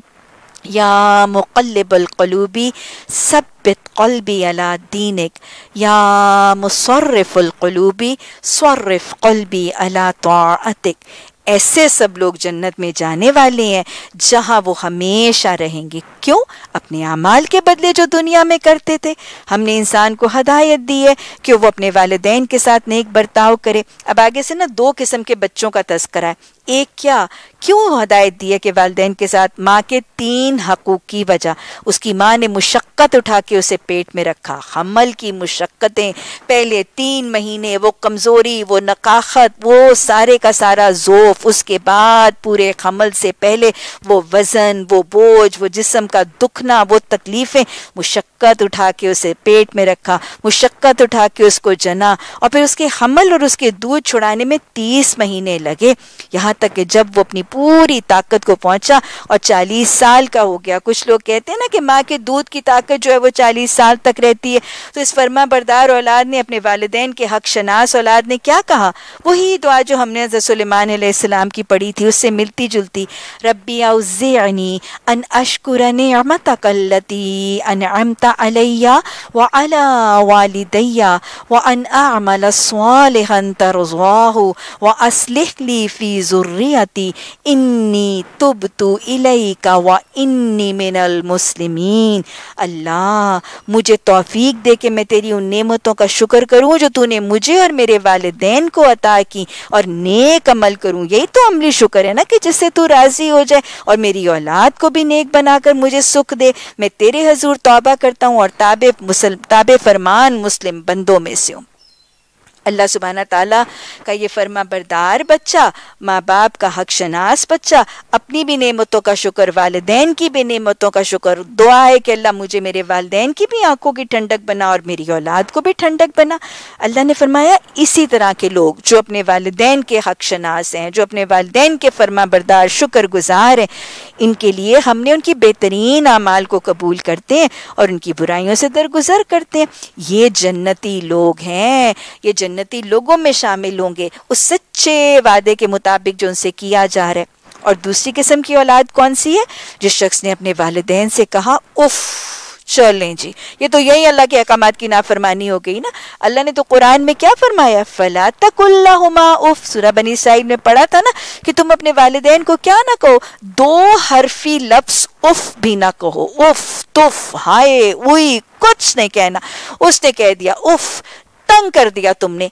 क्या तुम मुझे ये खौफ दिलाते हो कि मैं मरने के बाद फिर कब्र से निकाला जाऊँगा? हालाँकि मुझसे पहले बहुत सी नस्लें गुजर चुकी हैं, उनमें से तो कोई उठ के आया नहीं। माँ और बाप अल्लाह की दुहाई दे दे कर कहते रहे, अरे बदनसीब, मान जा, अल्लाह का वादा सच्चा है, मगर वो जिद्दी, बिगड़ा हुआ बच्चा क्या कहता रहा? वो सरकश कहता रहा, ये सब अगले वक्तों की फरसूदा कहानियाँ ओल्ड फ़ैशन ऑप्सलीट बातें हैं जो अम्मा करती है। आज ऐसी बातें हैं है ना? माँ बाप बच्चों को समझाते रहते हैं, बच्चों, नमाज़ पढ़ो, बेटा, कुरान पढ़ो, बेटा, ये फ़िल्में, मौसीकी, ड्रामे छोड़ दो।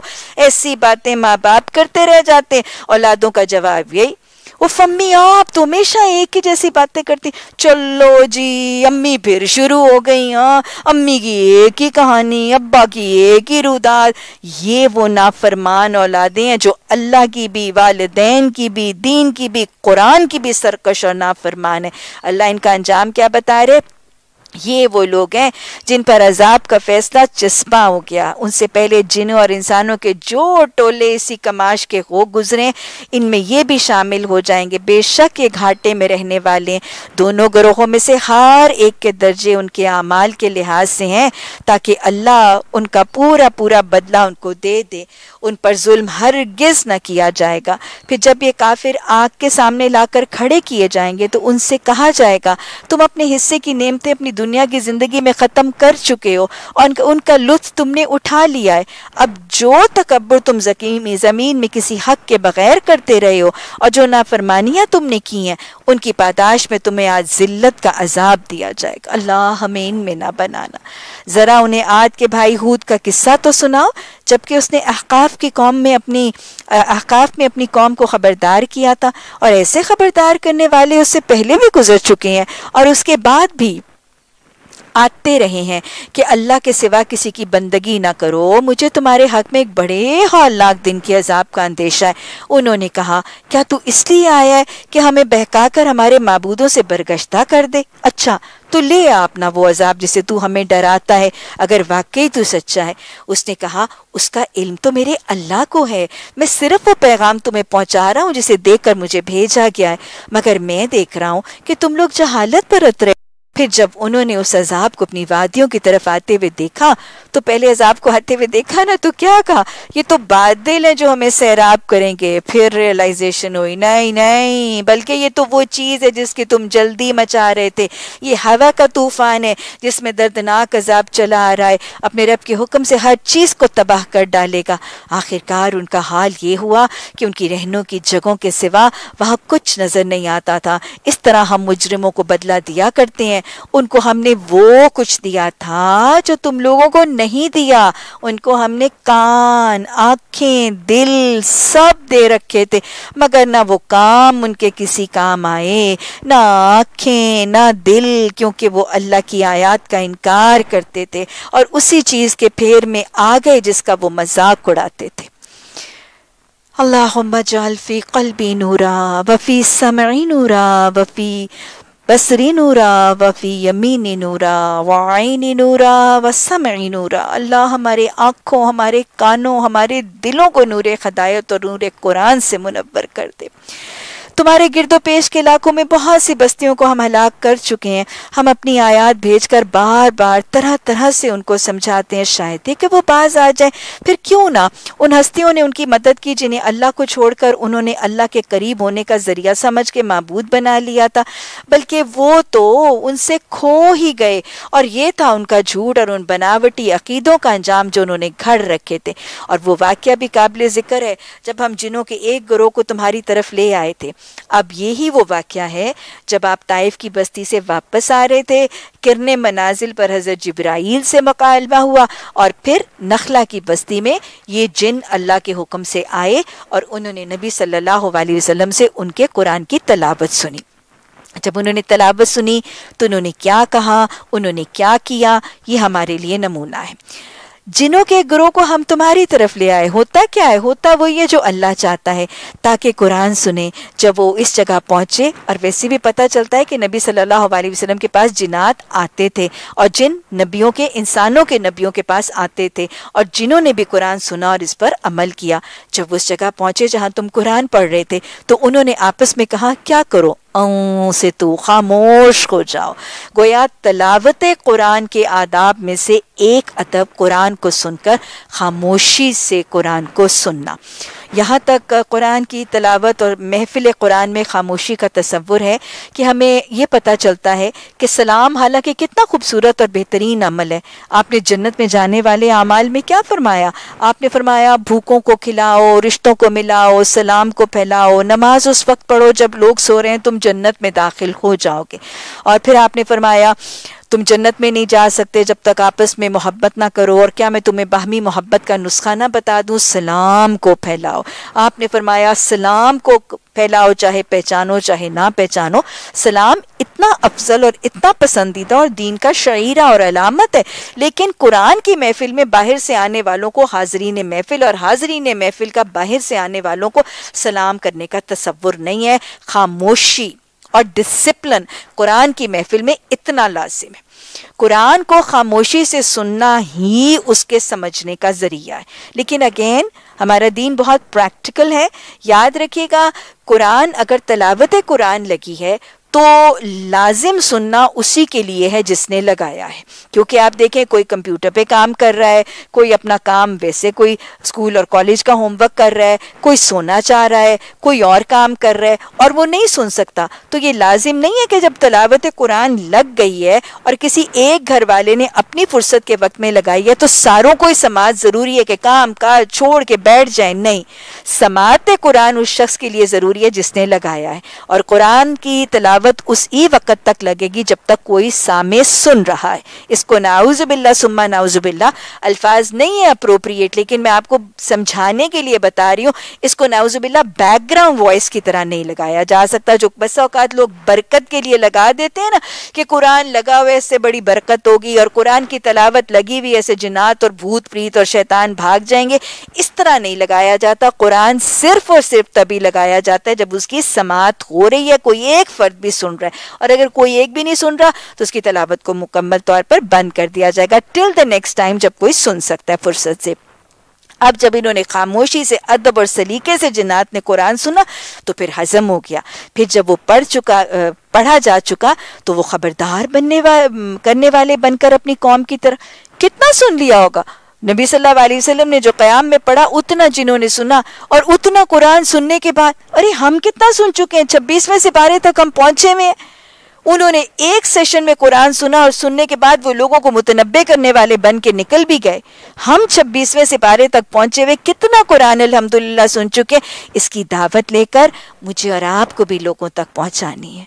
और क्या कहना है? जो उन्होंने कहा था। खबरदार करने वाले अपनी कौम की तरफ़ बन के पलटे। उन्होंने जाके अपनी कौम से कहा, ए, हमारी कौम के लोगों, हमने किताब सुनी है, जो मूसा सलाम के बाद नाजिल की गई है। तस्दीक करने वाली है, अपने से पहले आई हुई किताबों की। रहनुमाई करती है हक और राह रास की तरफ़। ए, हमारी कौम के लोगों, अल्लाह की तरफ़ बुलाने वाले की दावत को कबूल कर लो। उससे ईमान ले आओ। अल्लाह तुम्हारे गुनाहों से दरगुजर करेगा और तुम्हें अजाब अलीम से बचा देगा। ये दावत लेकर लोगों की तरफ़ निकले। आप लोगों को बताएँ, क्या ख्याल कुरान सुना है ना? अब कुरान सुना है ना तो रमज़ान में ये दावत लोगों तक पहुंचाएँ और लोगों को बताएँ, हमने कुरान सुना है। हम दौरे कुरान में बैठे हुए हैं, हमारे हाथों में कुरान होता था, हम पढ़ के सुनते थे, हमें समझाया जाता था, हमने सुना आओ तुम भी इसके साथ जुड़ जाओ।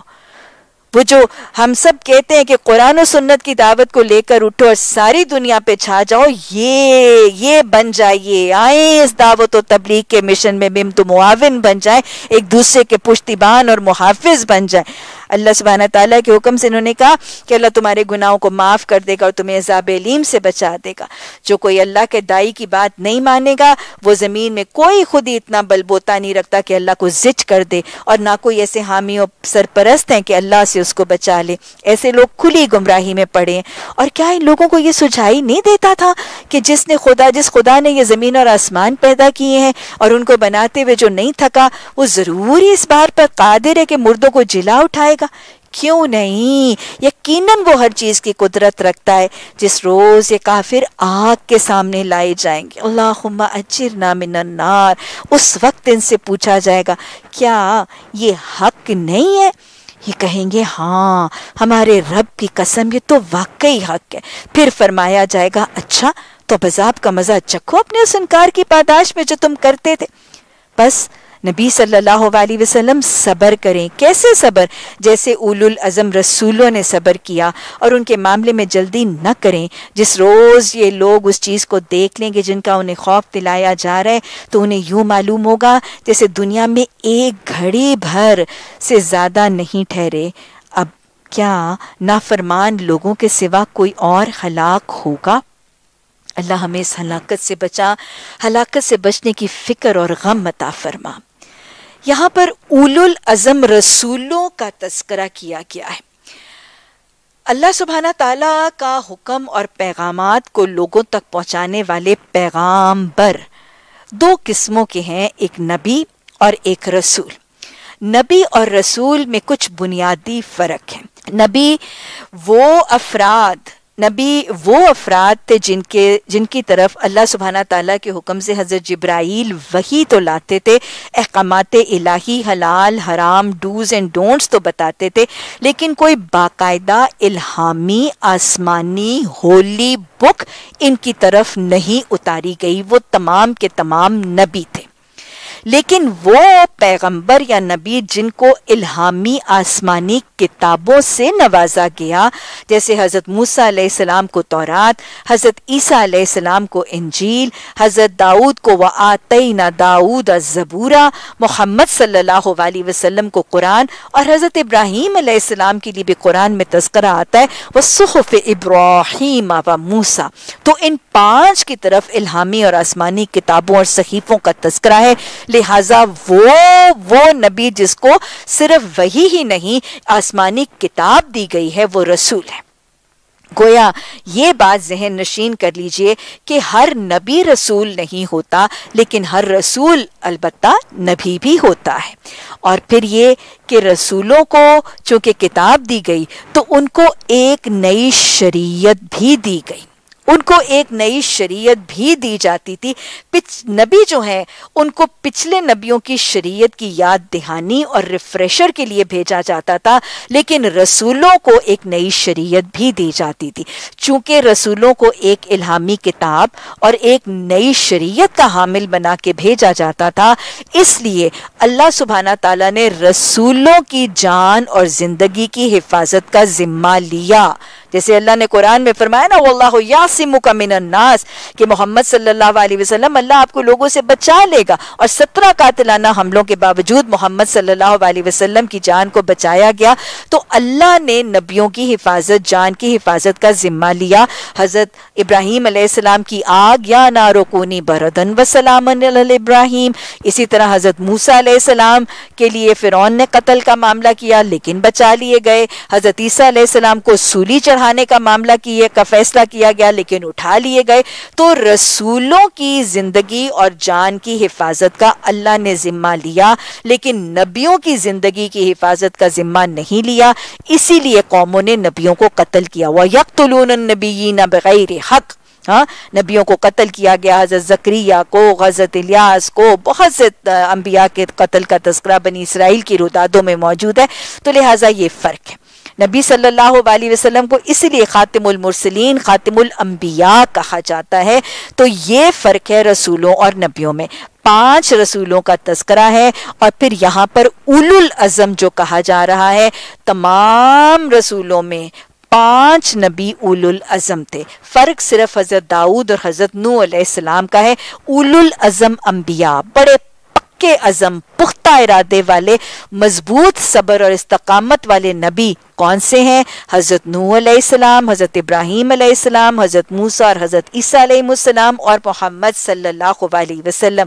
गोया रसूलों और उलुल अज़म अंबिया की फहरिस्त में सिर्फ़ एक में हज़रत दाऊद है और उधर हज़रत नू सलाम है। अल्लाह सुबहाना ताला हमें तमाम नबियों पर ईमान लाने, सबसे मोहब्बत, अकीदत, अदब, एहतराम करने और सबसे बढ़ के मोहम्मद सल्लल्लाहु अलैहि वसल्लम की इतबा और अतात के साथ साथ हुब रसूल सल्लल्लाहु अलैहि वसल्लम के पैमानों को निभाने की तौफीक अता फरमा। अल्लाहुम्मा असअलुका हुब्बका व हुब्ब मन युहिब्बुका व अमल अल्लज़ी युबल्लिगुनी हुब्बका। रब्बना ला तुज़े क़लूबना बाद इस खदैतना वहब लना मिन लदुनका रहमा इन्नका अंतल वहाब सुबहानक अल्लाहुम्मा व बिहम्दिका नशहदु अन ला इलाहा इल्ला अंता नस्तगफिरुका व नतूबु अलैक सुबहान रब्बिका रब्बिल इज्जति अम्मा यसिफून व सलामुन अलल मुरसलीन वल्हम्दुलिल्लाहि रब्बिल आलमीन आमीन सुम्मा